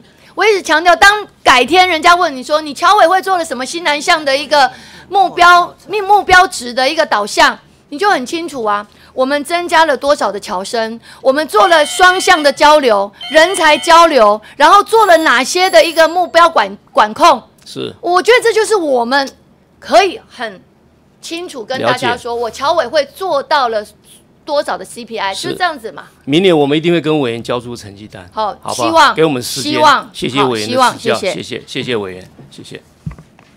好，谢谢陈廷芬委员，谢谢委员长。我们有请下一位委员吕玉玲吕玉玲委员。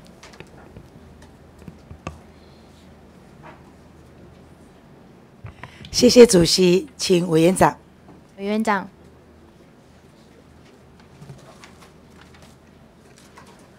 吕委员好，委员长，是国际的发展，未来的趋势，大家现在在关心的是就是美国的大选。是大家原本认为希拉蕊会当选，但是今天早上一连串的开票结果，大家还是很担心。哈、是啊，如果川普当选，我们台湾在国际未来的发展会是如何？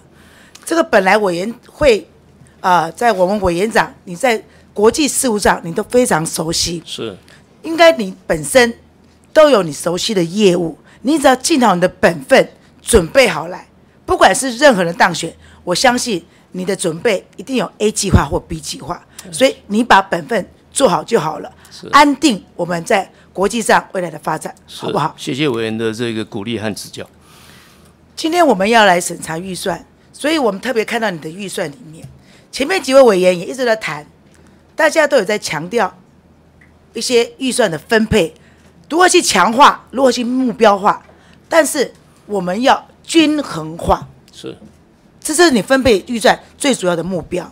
但是我们在看到你在这个预算里面，侨委会的第六目的预算，华侨新闻资讯跟传媒的服务的编列一亿一千七百五十二万，这个经费里面就是我们宏观电视这个频道，在里面这个费用有最重要的一项就是租借卫星，卫星对。这个租借卫星占了很多的钱呢。是在我们去年编了三千九百多万，将近四千万，今年你又编了两千八百九十八万，这个钱你编了这么多，我们来看看这图表的说明。是你在这个预算里面占了二十六趴，二十六趴。是那但是你的效益有没有达成？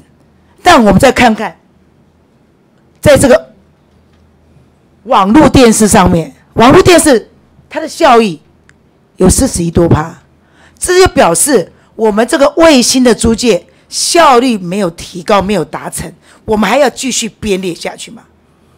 这个跟委员报告，您的观察很正确哈，因为的确这一个透过这一个卫星来播放这个转播这个宏观电视，它的效益没有我这个网络直播来的好，所以我们今年我们明年一百零六年我们就砍掉租借两颗卫星的预算，所以你明年就不编了，明年就两颗少租两颗微信，就省省下两千多万了，就已经省下两千多万了，省下两千多万，为什么还会在这个金额呢？但是跟委员你原来是四千万，现在就要将近要三千万了，哪里有省下两千万？省下一千两百万，省下一千两百万，省下一千两百万。所以你不是完全，就不要租借的，我们是采取少了几个，我们是采取渐进式，逐渐把它荡下来，哎，不要一次就把它停掉，这样。所以那这个合约你们特别要去注意这是，个合约的问题，很注意，很注意，好，好不好？是是。那接下来，呃，你明年在业务报告上要来办理全球性的呃侨务会议。对，在这个侨务会议要来让我们那个整个政策的一个会议的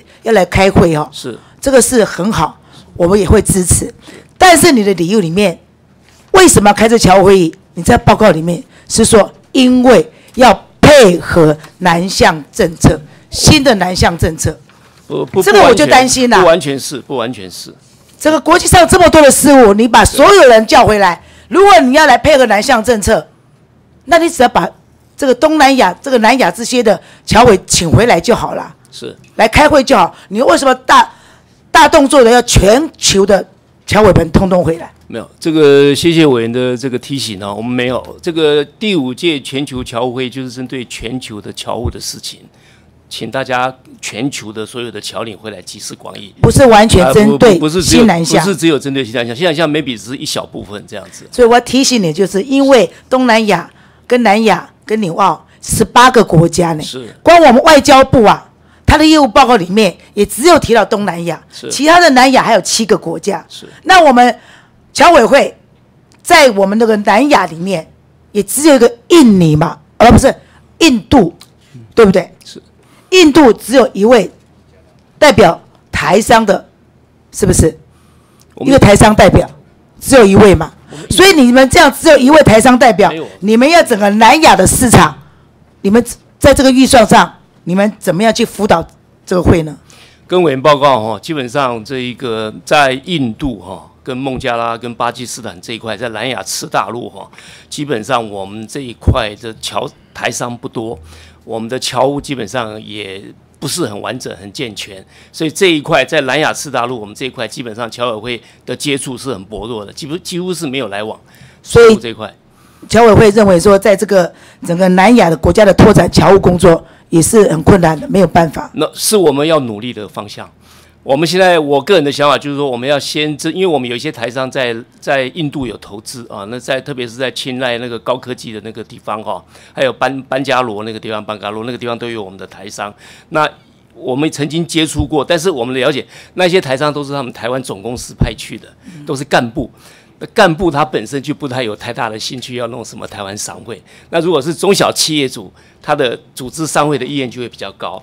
那所以啊，你要走向南亚，我我们侨务的工作、侨包、侨委这些都，我知道你们要去努力但是你整个这个全球性的侨委的会议啊，我们一定要经过是国际的事务来讨论，是是。这样子才比较实质性是的啊是。全球性的，是。那接下来，呃，我要请教我们委员长一个问题啊，我们各委员会啊，如果有事关机密，我们的预算我们就会排到机密报告里面。是对不对？像省国防预算也会有排机密报告，也不不能说你排了公开，你却说是机密啊，不能说。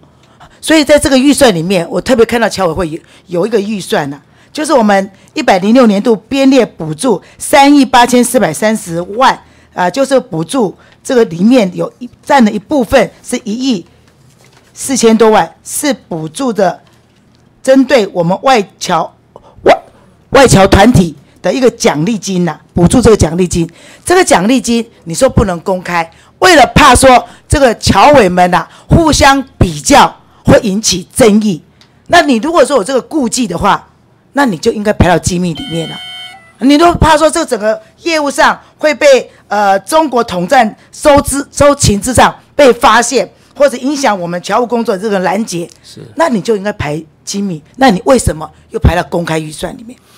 这个主主机陈主任，你有顾忌你就排，机密啊，因为我那你不能规避说我们立法院的的一个一个监督嘛，对不对？是我上任之后我有了解这个问题，然后我请我们主计主任来跟委员报告一下我们的当初的考量顾虑是什么，好不好？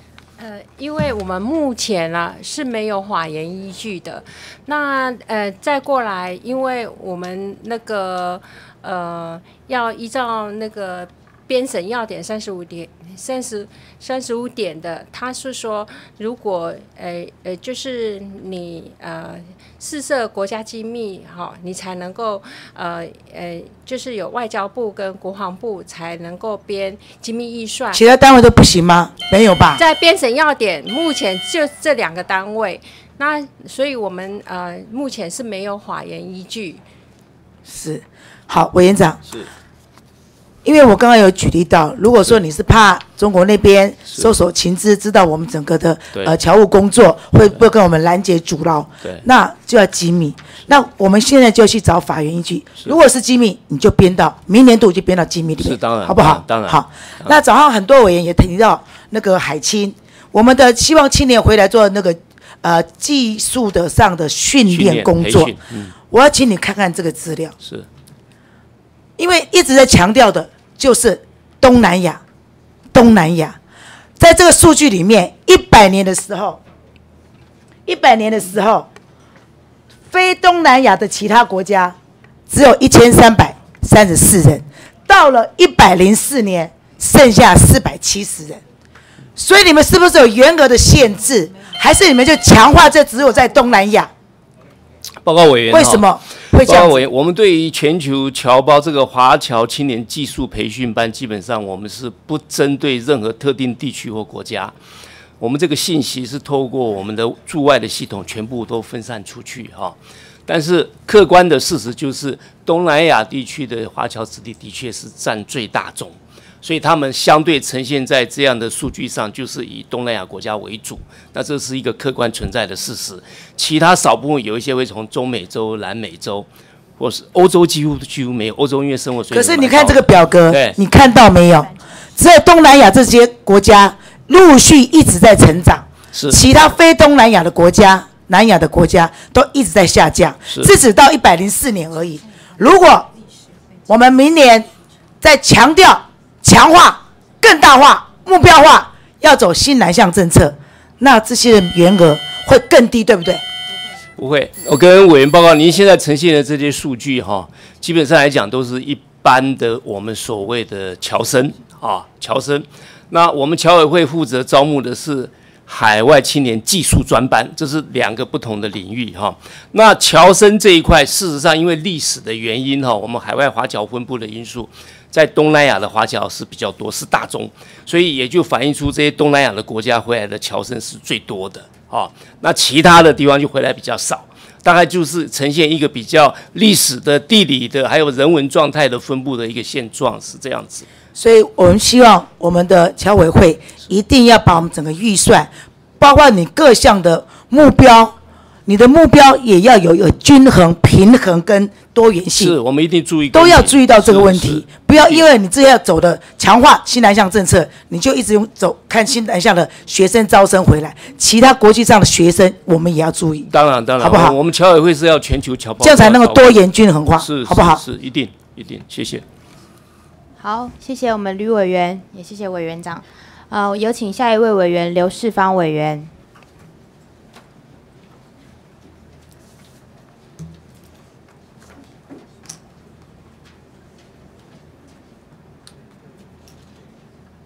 呃，谢谢主席，我可不可以请一下我们委员长好吗？好，委员长请。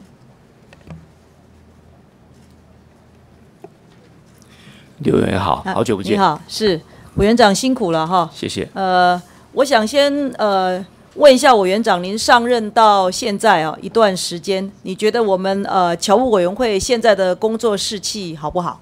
好，谢谢委员的关心哦。我想我们侨委会的同仁，大家都是专业文官哈。那基本上我这六个月的观察，我觉得每个同仁都尽心尽力来协助我们新政府来推动我们新政府要做的事情。对，我很感谢他们。是因为很多人他们是在外面哈，是那没有办法每天呢跟委员长或副委员长来报道哈，所以如果没有说要这个报效国家了哈，或者是说呃遵守我们的总统的这个外交侨侨委的政策的话，其实会做得很辛苦。对，但是如果反过来说，他们呃觉得说这样子的一个士气是可以带动上来的话，其实我们可以从更弹性的方向来处理他们的升迁呐哈。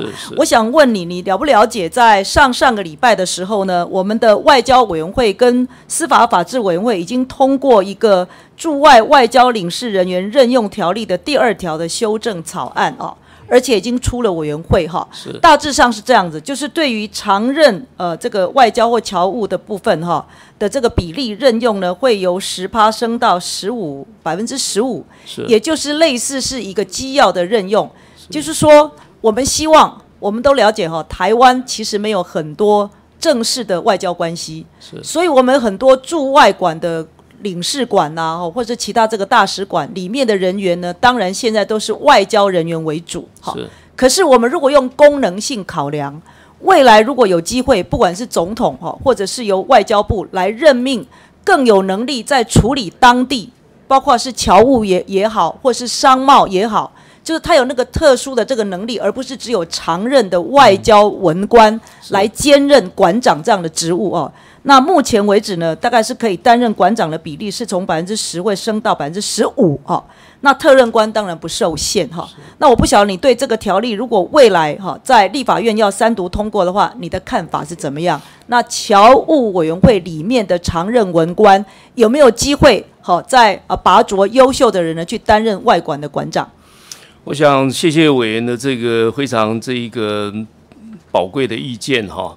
那基本上我自己以前在菲律宾担任我这个外馆的馆长哈，但是你是因为特任官的关系，特任官的关系。那我认为就是这次我们新政府把这一个相关，就是说因为政治任命，我们说 political appointee 哈这样的一个人，把它稍微从 ten percent 放宽到十五 percent，我认为这个政策基本上是很正向的哈。因为的确这一个常任文官他有他的专业哈，但是政治任命的文官他有他的一些政策的导向的一些考量哈，那带着整个常任文官往前前进然后，所以我觉得这样的搭配是非常的好的哈。是，基本上我建议说，我乐观其成。谢谢。我建议委员长，因为你刚好在外交跟侨务两个地方哈都有跨接过哈，是是，更了解说呃常任文官跟这个这个政治任命的这个呃这个特任官也好哈，或者特派官员也好，中间的一些嫁接的问题哈，那当然是更灵活跟更弹性。所以未来如果有机会，对于我们优秀的常任文官呐，委员长要多多推荐好吗？好，能够帮台湾。好做事是非常好的。的确，我觉得很多常任文官他能力上很优秀，有政政治任命的资格了。对，那我们希望可以提供他比较多的这个擢升的这个管道，好吗？好，好，谢谢哈。那再来还是一样哈，我是呃接着我上一次在跟呃这个委员长询问的这个部分，就有关新南向哈。那我也非常谢谢这短短的时间内呢，你们当然的对新南向的这些国家里面有侨务委员会。好的，先期工作啦，都提供了一些政策跟见解哈。那现在有一些国家已经把这些意见回来了哈。我不晓得我们的委员长怎么样看待这件事情了哈。呃，我先不看这个预算的部分哈，我先看到就是说新南向政策的侨界哦，他所关切的面向非常的多，从这个经济啦、教育文化啦、金融啦、人才啦哈，而且每个国家都不相同，好都不相同。那既然都不相同的话，这些意见。其实对我们新南向来讲是非常重要的一个呃资讯上面的回馈，好，呃，譬如说你可以看到哈，呃，我这边有看到呃，譬如说呃越南哈，越南的部分呢，他们是希望呃我们的呃台商组织可以建立完整的商情资料库哈。那泰国的部分呢，他们认为从一九八四年以来的南向政策算是成功，因为当地的台商的组织大概算庞大哈，但是他们也希望说哈。可以呃，包括泰国的一些呃泰劳了等等，回回到泰国以后，可以被他们任用，因为他们等于是懂中文跟懂泰文哈，这是属于跟商业啦或是跟经贸相关的。那马来西亚的部分的话，他们是希望说中小企业在那个地方很非常辛苦的单打独斗，可不可以提供金融的服务协助，譬如说境外的融资贷款啊，这些其实委员长都非常的了解哈。那还有包括菲律宾的也是一样，菲律宾会觉得说，可不可以把菲律宾当成是台湾的内需市场的扩大？哈，那印尼的部分呢，是希望能够加强合作，呃，这个签订合作协议，我想还都是经贸层级的哦。这些意见都非常宝贵，因为这些都是我们的呃这个当地的侨呃侨委啦，或者是台商呢，他们累积了一辈子的生活经验，或者是贸易从事商业的这样的经验。那这些你汇集回来了以后。那下一步，委员长你要怎么做？跟委员报告哈，我们在召开侨务会议委侨务委员会议之前，我们都会请外管先行召开一个所有的荣誉职人员的座谈会啊，那他们就会把这些意见都会报回来，汇整到我们侨委会。是，我知道。汇整到侨委会来之后，我们就会开始会过滤，会 screen 哈，哪一些是属于我们侨委会自己的权责该做的事情，我们就会。要求相关的处室，他们就要提出具体的这个工作的起程和工作的方向哈。对。但是有一些不是我们侨委会的一个业务哈，譬如说是属于外交部的、经济部的哈、财政部，那我们就会把这个建议正式的行为给各相关的部会，请他们各部会来来办理，或是来。新南向的这个经贸谈判办公室现在是由邓振中政务委员在主导嘛哈。那我们所接触到很多当地的这个侨商，其实也都是台商哈，相当的多。对于经贸谈判本身，应该也有很具体的建议。所以刚刚我讲的有关于跟商贸、跟经贸哈。跟双向的交流，甚至人才、教育、文化的交流，如果有关系的话，你应该会透过像邓正中政委这个部分来会诊嘛，哈。因为现在我们已经要开始发动这样子的政策的话，不可能就是资料还要再继续搜寻。是我们跟委员报告，我们跟邓政委办公室都保持密切的工作关系和联系。那邓政委也到我们侨委会来听过我们的简报，所以他对侨委会的工作的内涵，他也都很清楚。我可不可以建议一下哈？如果方便的话哈，其实我们都知道锁定西南向政策的国家大概是集中五国到六国了哈，不可能十八国就一次先解决，分成阶段跟 priority 嘛哈。那所以呢，有没有可能，譬如说我们会组织这样子的经贸代表的这种访问团哈，到当地去做商情的接洽之外，可以再跟我们当地的侨商跟台商有这样子比较有具体的座谈会，而不是夯不隆咚一大堆哈。天南讲到地北，然后上那个从那个历史什么五千年一直讲，不用讲这些东西。确定我们要做的部分，可不可以透过侨委会的系统来举办这个，或者是我们的经济部他们有呃这个对外的这种外贸协会来一起举办，方不方便？可不可以？我想这个跟委员报告哈，侨委会。存在最重要的价值就是我们在东南亚的人脉的建立和掌掌握哈，而且包括当地的政界人士，我相信也有人有非常大的影响力，尤其是我们的侨商代表。嘿，所以只要经济部或是政府相关部会需要我们侨委来协助，我们都会积极配合办理。譬如说十二月二号。亚洲台商总会在越南就要召开的几件事会，我们就特别越南的什么地方？越南的这一个胡志明市，胡志明市。然后呢，我们就特别邀请卫福部，要派出他的同仁，还有国内的一些重要的医院，去越南推销我们的健康医疗保险，还有我们的一些产业。非常的好，我跟吴元章提醒一下哈，下一次的 APEC 就是在越南的岘港。哦，是好。那 APEC 的那个之前一定有很多次长级的，或者处长级的，或者司长级这种谈判的部分，所以我们跟越南之间的这种联系沟通的管道，我希望再加强，而不是只有单一一次，好吗？好，是。那再来，我还是要问的，就是刚刚有很多问过，就是我们海外宣传为什么全部都是集中在马来西亚？从二零一二到二零一二，马来西亚我们的那个侨委会的人比较多，还是比较认真？我看到二零一二到二零一六啊，那么多场次里面。越南也没有，泰国也没有啊，这都是主要的我们是要处理的国家那样的呀。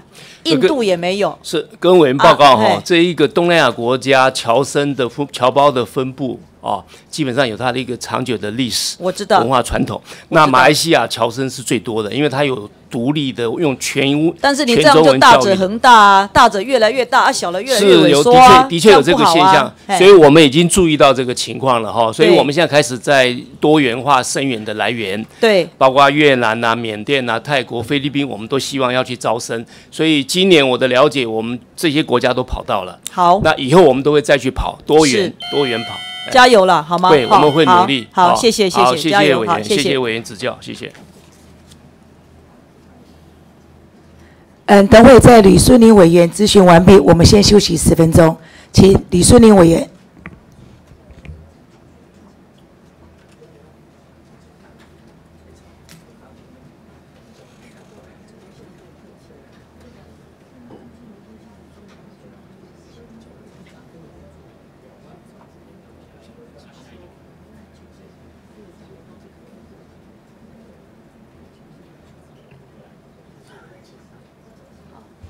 呃，谢谢主席，不好意思耽误这么久的时间。呃，有请委员长。请请委员长。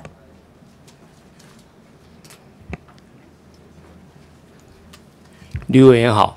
委员长早，呃，首先要先肯定我们委员长在上任之后，在这么短的时间，其实我们侨委会做出了非常多的变革。那我们可以从这个业务报告里面可以看到，说我们委员长其实在各个部会当中。针对这个口头报告还有业务报告的部分，其实都是做的非常的用心，所以在这边要给您一个肯定。谢谢。那我想，呃，我们侨委会呢，在这个财政非常拮据的状况下面，编列了明年的预算。那我们必须要在这个有限的经费当下呢，来推动这个侨务，其实是非常的不容易。是。那我也希望说，我们呃侨委会在这个。政府的新南向政策推动当中呢，能够扮演一个积极的角色，那让我们呃社会大众能够体会到说，我们侨委会其实在这个新南向政策这个施政的方向呢，其实有它的重要性。那所以在这个部分，我想要就一些预算的部分来请教委员长。是。那首先就是说，呃，根据我们行政院公布的讯息呢，我们目前新政府在推动这个新南向政策的整体预算大概是四十二亿。那其中我们呃侨委会编列的部分呢是大概有两亿元，那所以我想请教委员长，在这个部分就是说，目前这两亿元呢是显示在预算的哪些部分？那我们针对这个两亿元的呃预算当中，我们有做什么样的具体规划呢？好，这个我们新南向政策跟委员报告哈，事实上我们总共的经费是将近两亿了哈。对。那其中有。亿三千万基本上是我们既有的经费，而且是例行在推动的事情啊。那真正行政院给我们针针对新两项政策而推动的这个预算是六千七百万哦，六千七百万。那这这一笔六千七百多万，我们大家都是放在有关。侨生跟侨商、台商的辅导跟招生这一块，我们用的是最多，因为我们要这一个侨生倍增的计划，所以就要多花出很多钱哦。所以，所以大概是在这个地方。那在针对这个部分，可不可以请委员长再呃提供这个书面报告给我做个说明？好，没问题。好，那在这个预算报告当中，其实刚刚。委员长也有提到说，这个预算运运用在桥身、桥桥上的这个部分嘛。那其实呃，在新南向这个有关的部分，就是规划创新规划侨生政策，来扩大办理技职侨生升学，以及延揽海外的华裔青年来台就学，还有参加这个技术训练。所以我想请教委员长的部分，就是以这个侨生的部分来说，我们呃。这个侨生跟我们的新南向政策的关联连接点是什么？那我想这个业务其实也是我们侨委会之前一直在在做的。那如果说要用这用这个部分来和新南向政策来做个结合的话，我们侨委会在这个呃方向以和过去的做法有什么样子的不同？好，这个跟跟委员报告哈，就是还是说这就是一个延续性的一个作为而已呢？我我跟委员诚实的报告，基本上这个工作一部分是延续性的，因为以前都一直持续在做哈。我们对侨胞的服务基本上有它的持续性、一贯性嘛哈。那但是在新增加的部分哈，我们现在会针对新南向政策，我们会把东南亚这一些我们。毕业的侨生校友，我们的台商侨商，我们开始要建党，我们要分年建党，因为我们预算的关系，我们钱不够，所以我们要逐年建党。建党过吗？过去建党都不是很完整，有点零散，而且有些资料都旧了。哦，所以这个东西要不断持续的去做，所以这一部分是我们最大的一个挑战。我们要来要来建档，至少就是说，我们可以掌握，譬如说在越南有多少台商，他们做什么的，老板是谁，然后员工多少人，那有提供多少就业机会等等这些信息，我们要掌握来之后，可以跟其他部会来分享。所以过去在这个部分，我们侨委会是做的非常的不足，就是不够不够完整，不够全面。哎，好，那所以在这部分，我祈勉委员长在这部分要做加强，因为其实这个呃资料库的建立呢是。是让我们侨委会在这个侨胞的部分的人脉的一个呃掌握，还有就是扩充的部分，所以这部分相当的重要，所以希望委员长一定要再做个努力。是因为我们同仁也都了解，我们大家也都交换意见开会，我们都知道，就是说这是一个大数据的时代嘛，哈。对。Big data，当然我们这个 data 不是那么 big，但是至少它是一个 data bank，我们希望把它建设起来之后，以后都可以用，其国内其他单位要用都可以用。好，那接下来就要请教委员长的部分，就是说如何在呃结合我们国内的产官学界的一个资源，然后来强化我们侨商经贸的实力，那来整合整个侨台商组织网络，来扩大这个呃与东南亚国家的经贸合作的部分。我想请教，就是说委员长，你这个在这个部分呢，要怎么样和我们的外交部以及经济部来一起推动？那我们这个在这个呃，推动这个经贸产产官学的这个部分，我们有没有做一个平台来来，就是推动这个新南向政策的横向横向联系的沟通机制呢？是，跟委报告哦，根据这个行政院林权院长的指示哦，我们新南向政策大概是一个国家一个平台了哈，一个国家一个一个平台，那每个国家跟我们台湾的经贸关系、双边关系都不太一样，好，所以那院长要我们要去盘点。就是每个，譬如说每个国家的跟我们的经贸关系，第一有两个很重要的指标。总统总统前几天也讲到，就是说这个国家跟我们有没有签贸易投资保障协定，对，要保护我们投资的台商。第二个有没有签避免双重课税协定。这也是对我们台商都很重要的哈，对，所以现在就是说这一个我们的呃经贸谈判办公室，他们现在在盘点，外交部也在盘点这个哈，那大家会从这个地方去努力。那我们侨委会努力的方向，基本上我们还是人哈，就是说我们怎么样把东南亚这些台商侨商哈，那么有意愿要来台湾考察投资的哈，基本上会透过我们的系统，我们人脉把他们 organize 起来，请他们到台湾来。那事实上上个礼拜就有一团马来西亚的。很大一团这个传统侨社的侨商，是很多年他们都没有来台湾哦，三十一个人他们组团来考察我们台湾的投资环境。那么考察完之后，我才很惊讶的注意到，台湾有最有名的这个凤梨酥叫微笑山丘哦，居然是微热山丘，微热山丘，居然是马来西亚马来西亚商人投资的，是哦是马商投资的，所以哎我也很 surprise。那他们现在继续来看。考察机会。另外，我们侨委会也主动出击，请外管推荐他们当地驻地认为经济实力雄厚、这么有意愿要来台湾投资的侨商、台商，请他们提报，organize 起来回台湾考察我们投资环境。现阶段，我认为新南向政策。我不认为说我们应该再多鼓励我们的台商到东南亚投资，因为我们台湾也需要资金，也需要就业机会，也需要产业，反而是应该我们要怎么样把东南亚的商人抓到台湾来投资，这个才是我们要的东西。好，那我想请教委员长一个问题，就是说您刚刚提到的一个国家一个平台，是那这个进度已经到了哪里？那预计什么时候可以完成这整个就是统合的？状态呢？呃，是跟委员报告，因为这个工作现在是由行政院这个谈判经贸办公室邓正中邓主委那边在统一协调哈。嗯。那大概这一块工作，一国一平台，大概外交部那边扮演很重要的角色，还有我们的外管哈。所以我我相信外交部跟外管哎扮演了非常重要的角色。对对，因为他们很快的会去把这个。这所谓这个平台就是去 review 去检讨我们国跟国之台湾跟各国关系，它做一个做一个全面的检讨。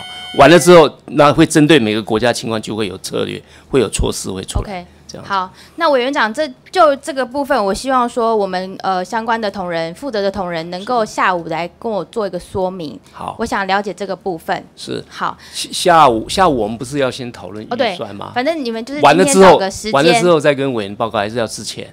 找个时间来跟我做个说明好了。好，好，对，好，好。那最后的部分呢？我想就是呃，刚刚吕玉玲委员其实也有提到说，我们侨委会似乎没有这个预算机密呃机密预算的一个一个呃审查的一个机制。那刚刚也有呃，他相关的同仁也有提到说，是因为我们这个在编审要点内没有这个法源依据。是。那其实我们侨委会和我们外交部。都一样，在做不同面向的这个外交工作。那当然有一些外交手腕上面是没有办法对外说明的。那我想之前也有委员。呃，针对就是比较涉及机密的问题，来来做一个答询。那我想当时其实也引起了我们侨委会不小的风波。那所以就是我我认为说这个预算机密预算这个部分呢，我希望委员长您在这个法源依据上面一定要赶快演拟出来，因为我相信这个部分未来一定还会再遇到的问题。所以我希望说委员长您这个部分一定要再做一个加强。那呃，委员长，您上任之后呢？我相信你的认真，我们大家都是有目共睹的。谢谢。所以希望您要继续的努力。我相信，呃，侨委会的努力一定会让大家看到的。好，谢谢委员的鼓励，我们一定会来再加强。好，谢谢。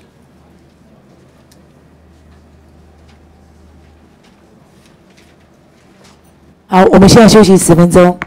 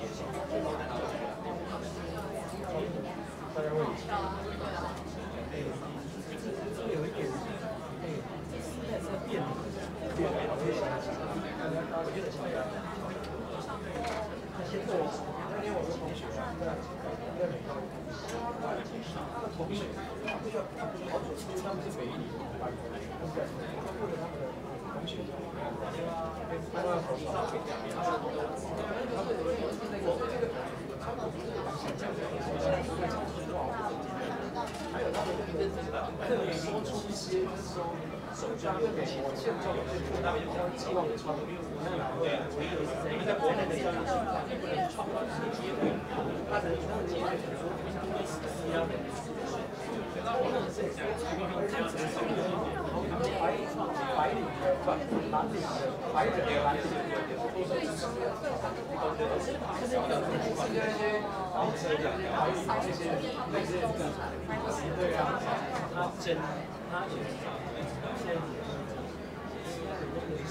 对呀，最后，我们讲一句，他很像。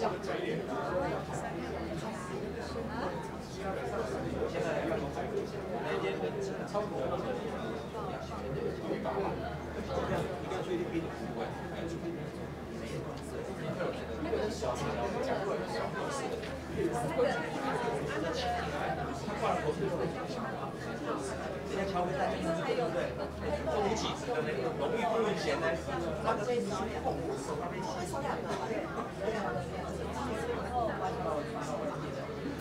一线大王，他的公司还在一个马桥汇，马桥汇咨询，我现在在马桥汇。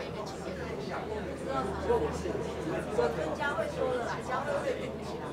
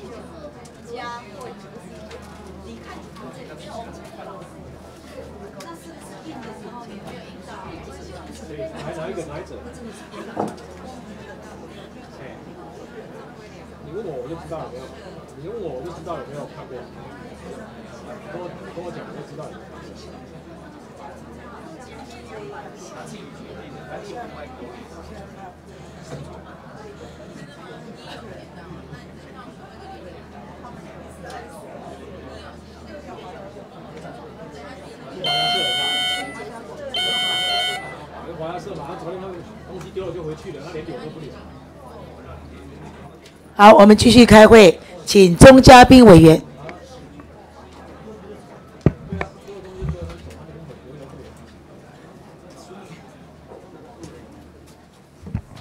啊，主席，与会的委员先进，各位列席的政府机关首长官员，在场的工作伙伴及记者、媒体女士、先生，大家午安。那有请委员长，请请委员长。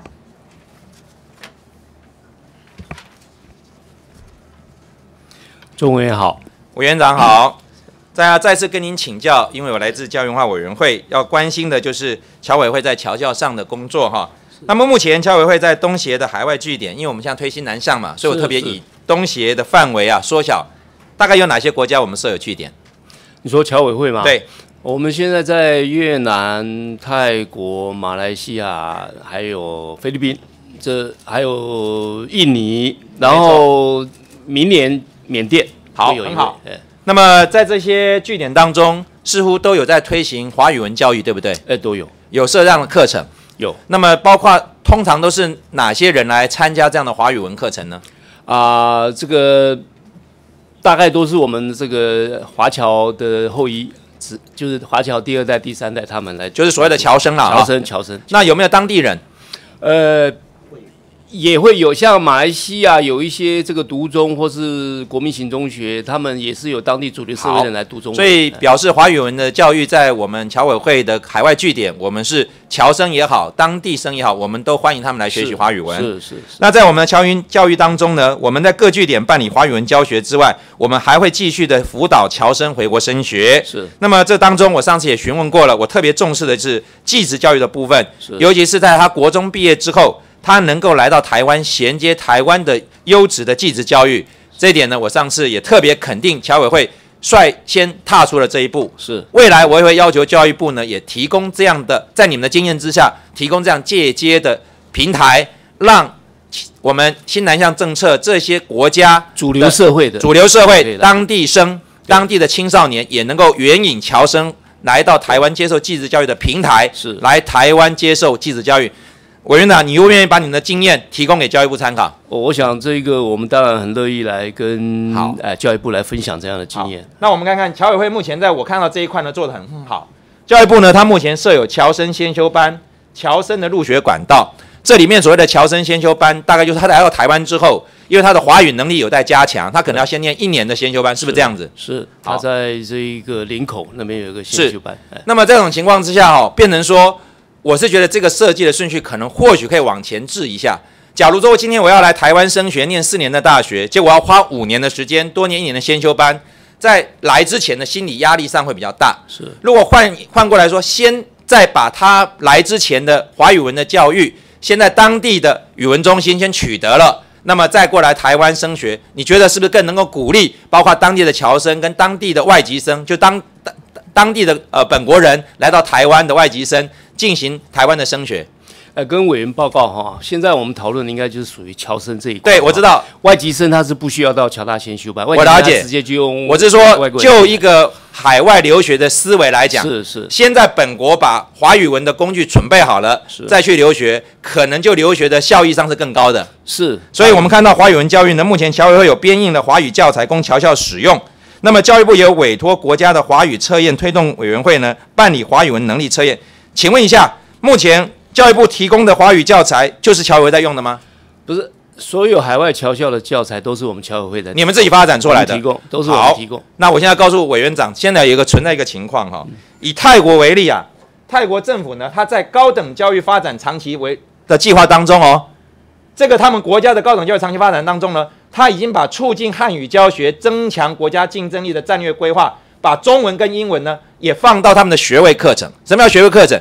换言之，在泰国的高等教育，就是大学当中啊，它除了在一九九二年开放华文教育之外，这些华文学校在泰国的法律地位是获得认可的民办学校，它的毕业成绩啊，学业成绩跟毕业文凭受到外泰国的教育部认可，中文的成绩可以记录当地的公立高中的外语部分作为升学的外语成绩参考。您知道，泰国非常重视华语。而且在一九九九年呢，泰国政府也将华文列为大学入学的外语考试的选项之一啊。这个等于说，我们在泰国的华语文呢是得到泰国政府的升学上的认可。我们来看一下，在二零零八年度这八年前哈，泰国的公私立高等学校开设华语或英语的国际化的程度已经这么多了，有超过四百多所。我们来看一下，那么这里面有个 AP 制度，什么 AP 制度呢？就大学预修国际文凭。大学生如果在大高中生的阶段就已经先修了大学前的选修制度，他可以衔接大学的课程，可以冲抵大学的学分，缩短大学的修业年限。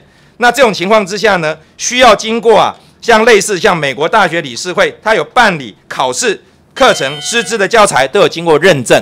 换言之，你要办理 AP，要经过一个国际组织的认证。请问一下，侨委会目前你们所做的华语文教学？有经过类似这样 AP 的认证吗？我们我想 AP 这一块我的了解，这都是在教育部这一块他们所主管的哈。那么 AP 这个课程基本上在我们国内的一些大专院校，像民传大学，我就知道还有这样的课程，那是全英文的哈。如果说今天我们我们侨委会你们在海外的华语文教育是得到包括外教呃教育部有一个认证制度的镶嵌进去的。那么是不是可以提高这些在海外接受目前侨委会的华语文教学的学生，提高他在台湾留学的意愿，也缩短他来台湾留学的时程？是这个跟委员报告，现在这一套这一个做法都是由教育部他我了解国家这个这个所以您目前你们使用的还没有达到这个程度，我们还没有插取到这一块，所以呢有分工，部会有分工，哎，所以呢我在这里啊，我的诉求呢就是说，我是肯定。侨委会这长年以来，为了辅导侨生回国升学，你们在海外的据点就先试办这样的华语文教学。那我要必须说明的是，说现在台湾我们政府的新南向政策，其实也是呼应了，包括像泰国这样的国家，他也认为未来的第二外国语。华语是一个非常重要的一个课程。那如果说今天我们侨委会在海外的据点的华语文教学，能够透过教育部的努力，取得国际组织上类似 AP 制度的认可。你可以想想看，你说的菲律宾、马来西亚、印尼、呃泰国跟越南，他们这些大学的，包括我们的侨生跟他们的本本国生要来台湾留学之前，他可以先到既有的包括侨委会在的华语文中心，你们的华语文课程当中取得这个认证。你想想看，如果我今天要去德国留学，我现在在台湾学了一年的德语了，你想我会跑到其他国家去留学吗？不会，我一定到德国去留学。但是如果我得的这个学分是未来到德国留学可以抵减认定的，我就更有这个诱因到那个国家去留学。所以我的诉求就很简单两点：东协各国目前对华语的教育啊日渐重视，我们希望呢能够透过侨委会在海外的众多据点呢，可以继续的持续的推广华语文教育。委员长，这个您同意吗？我想我同意。好，后面这个部分要拜托您，我也会去要求教育部、侨委会跟教育部呢共同来寻求。华语先修认证制度，也是未来我们希望我们侨委会在海外推动的华语文课程，是是在台湾的教育部透过国际组织认可的一个标准的课程。这个课程未来在他们的当地国是得到当地国政府的承认，而未来他们得到这样的课程的学生来到台湾，他可能大一国文他就不用修了，因为他已经得到认可了。侨委会愿不愿意共同来努力啊？我们愿意，我们来跟教育部哈，来教育部主导，我们来配合。好，那待会我有个提案，就会请主席支持。那也请侨委会呢共同来努力，好不好？是，谢谢委员长。好，谢谢钟委员，谢谢。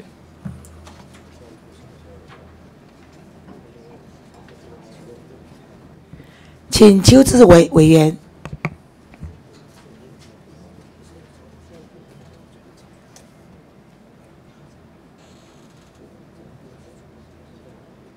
好，谢谢主席，有请吴委员长，还有信保基金林董事长。请委员长，信保基金林董。邱委员好。哎，委员长好。呃，委员长，呃，对您上任之后的表现，我是觉得是呃肯定，你也很努力啊。是，谢谢。啊，这个不管是台侨或者是啊我们的台商。做最好的服务啊！我想这是侨委会最主要的功能，是也是政府存在的目的。是，因为在海外遇到了很多困难呐，啊，如果没有我们政府去协助去排除的话，哈，是让他们这个单打独斗，我觉得这个啊，他们会受到很多的这个不公平的待遇也好，或者是在竞争上的劣势也好，啊，几个问题请教一下这个董事长，就是说目前侨务委员的遴选啊，我大概有几点建议，就是说，啊，现在的做法就是由外管呈报上来，大概你们就照批了嘛，哈，通常授权第一线外管的馆长或者代表提报回来，基本上形式上你们就批了嘛，哈，那我们就认为说这个不要。有任何政党或者个人的情感因素在里面，比方说某某的代表、某某的大使跟这个、跟这个可能啊，他提报的这个侨委员，他有个人私人关系。好，我觉得 应当是由倍数的名额，比方说这这个国家有两位侨委员，他应该提报回来有四位，由您按照您的布里奥的专呃幕僚专业的这个评估，按照他的人品，按照他对台商的贡献。对这个台桥的贡献做一个评比，然后提报四个名额，你圈选两个，你觉得这样做法是不是会比较公允一点？我想委员您的看法跟我完全一样哈。那么我因为。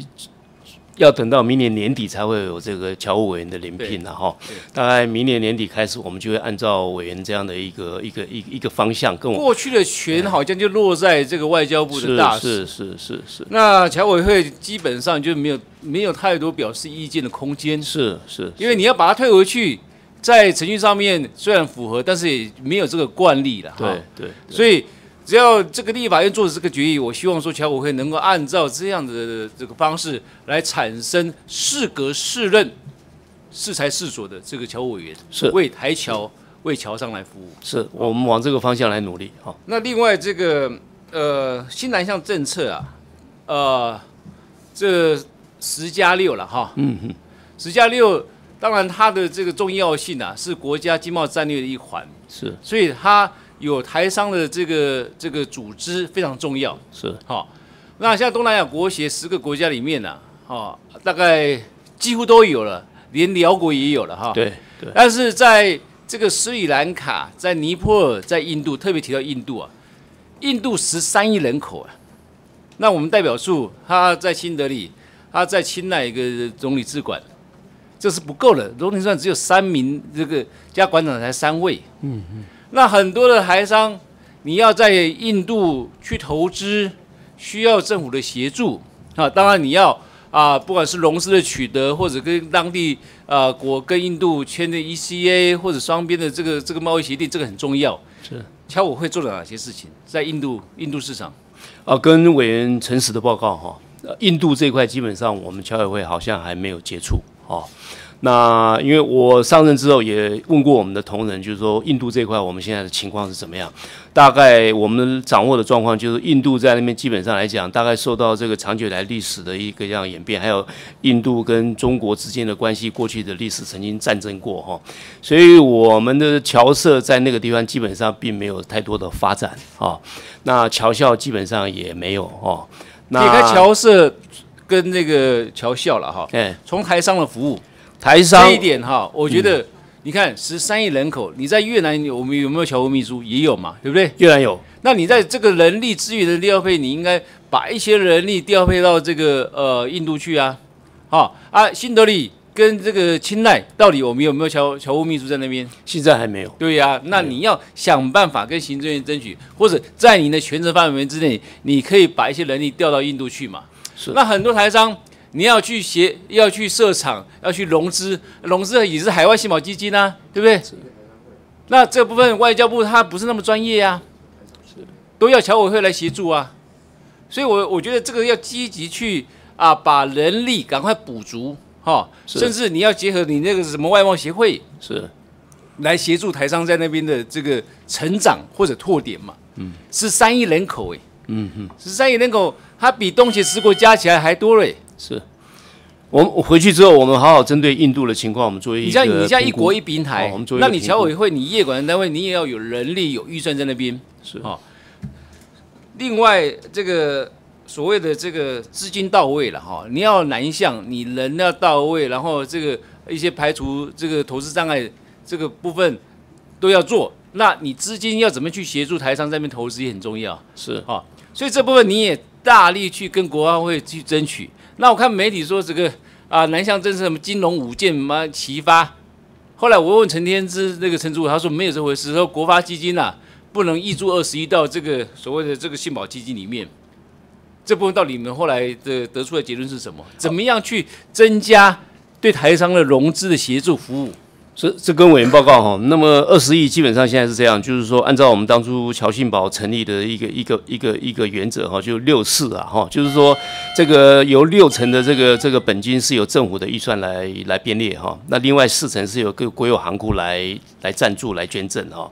那如果未来要增加这二十亿的话，大概如果按照六四的原则啦，基本上来讲，我们还是有其中十二亿大概要透过我们财政部来逐年主计处这边来逐年编编列预算，然后。民间行库、国有行库就要请财政部部长这边来支持。那国外基金不参与了？国外基金，他可以修法吗？我们开过会讨论，结果国外基金要用他的钱，可能有一点困难，有一点困难，所以只能透过财政部跟编列公务预算，跟主计处、跟主计总处，然后协调其他的国有行库，对，来来来赞助。那我们你主管的这个呃海外信用保证基金目前的规模是多少？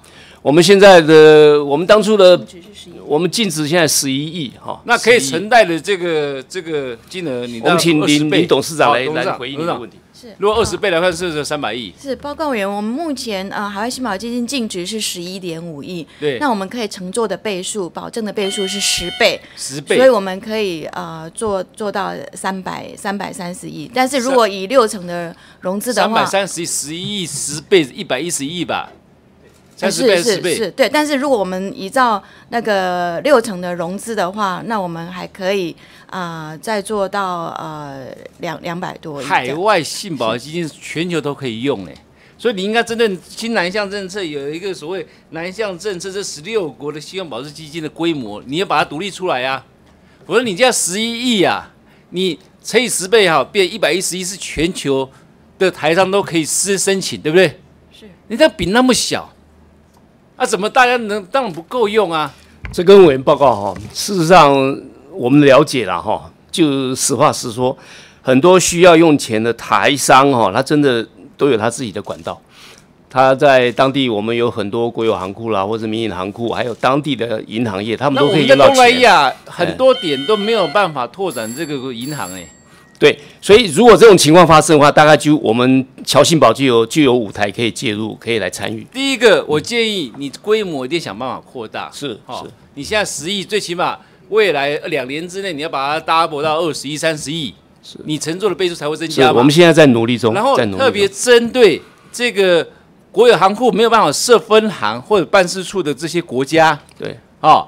你要给他这个融资的这个门槛能够稍微降低，融资的额度能够提高，这不你要每一个国家去审视，因为每一个国家有不同的这个它融资的背景跟条件。嗯，是报告委员，目前我们新南向的国家哈，呃，我们提供的融资保证的额度是两百万美金呐，上限嘛？对，上限对。那当然这个是就它的担保不足的部分，我们提供保证嘛，但是事实上。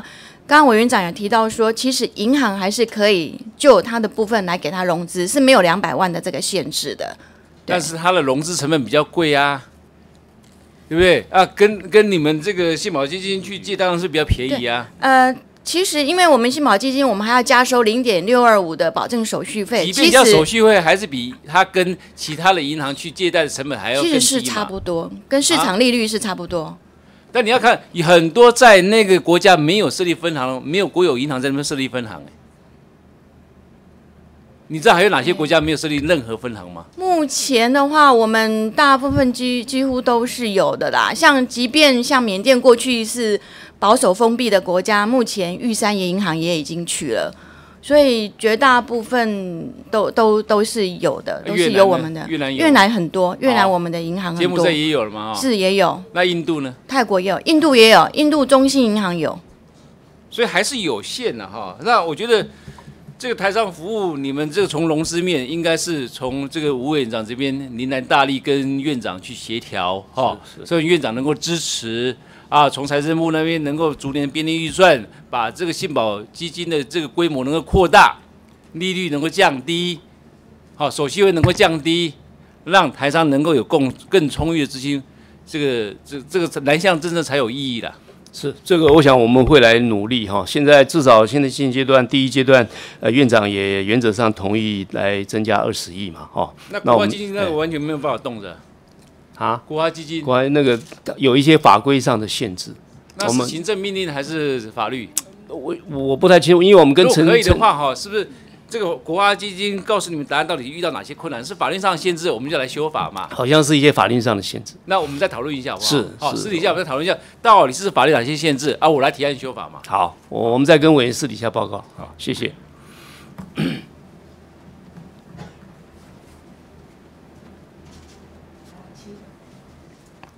请孔文吉委员，孔文吉，孔文吉委员不在，请林俊宪。林俊宪，林俊宪委员不在，请严宽恒，严宽恒，严宽恒委员不在，请曾明忠，曾明忠，曾明忠委员不在，请卢秀燕，卢秀燕，卢秀燕委员不在，请林德福，林德福，林德福委员不在，请陈怡杰，陈怡杰，陈怡杰委员不在，请徐永明，徐永明，徐永明委员不在，请赖永龙，赖永龙，赖永龙委员不在，请黄伟哲。黄伟哲，黄伟哲委员不在，请陈明文，陈明文，陈明文委员不在，请蒋乃馨，蒋乃馨，蒋乃馨委员不在，请徐增卫，徐增卫，徐增卫委员不在，请黄昭顺，黄昭顺，黄昭顺委员不在，请张立善，张立善，张立善委员不在，请陈赖素美，陈赖素美，陈赖素美委员不在，请周陈秀霞，周陈秀霞。周成秀霞委员不在，请罗明才。罗明才，罗明才委员不在，请蔡义瑜。蔡义瑜，蔡义瑜委员不在，请马文君。马文君，马文君委员不在，请陈欧珀。陈欧珀，陈欧珀委员不在。好，以上已登记的委员，除了不在场之外，啊，已经都发言完毕，报告及询答结束。那本次会议的委员有马文君委员，呃，提出书面的质询，请列入记录并刊登公报，请相关单位以书面于两周内答复。委员口头质询跟未及答复的部分，呃，要求补充资料者，呃，在请相关单位以书面于两周内提供。那我们下午两点半再处理。侨委会的一百零六年度的预算，现在休息。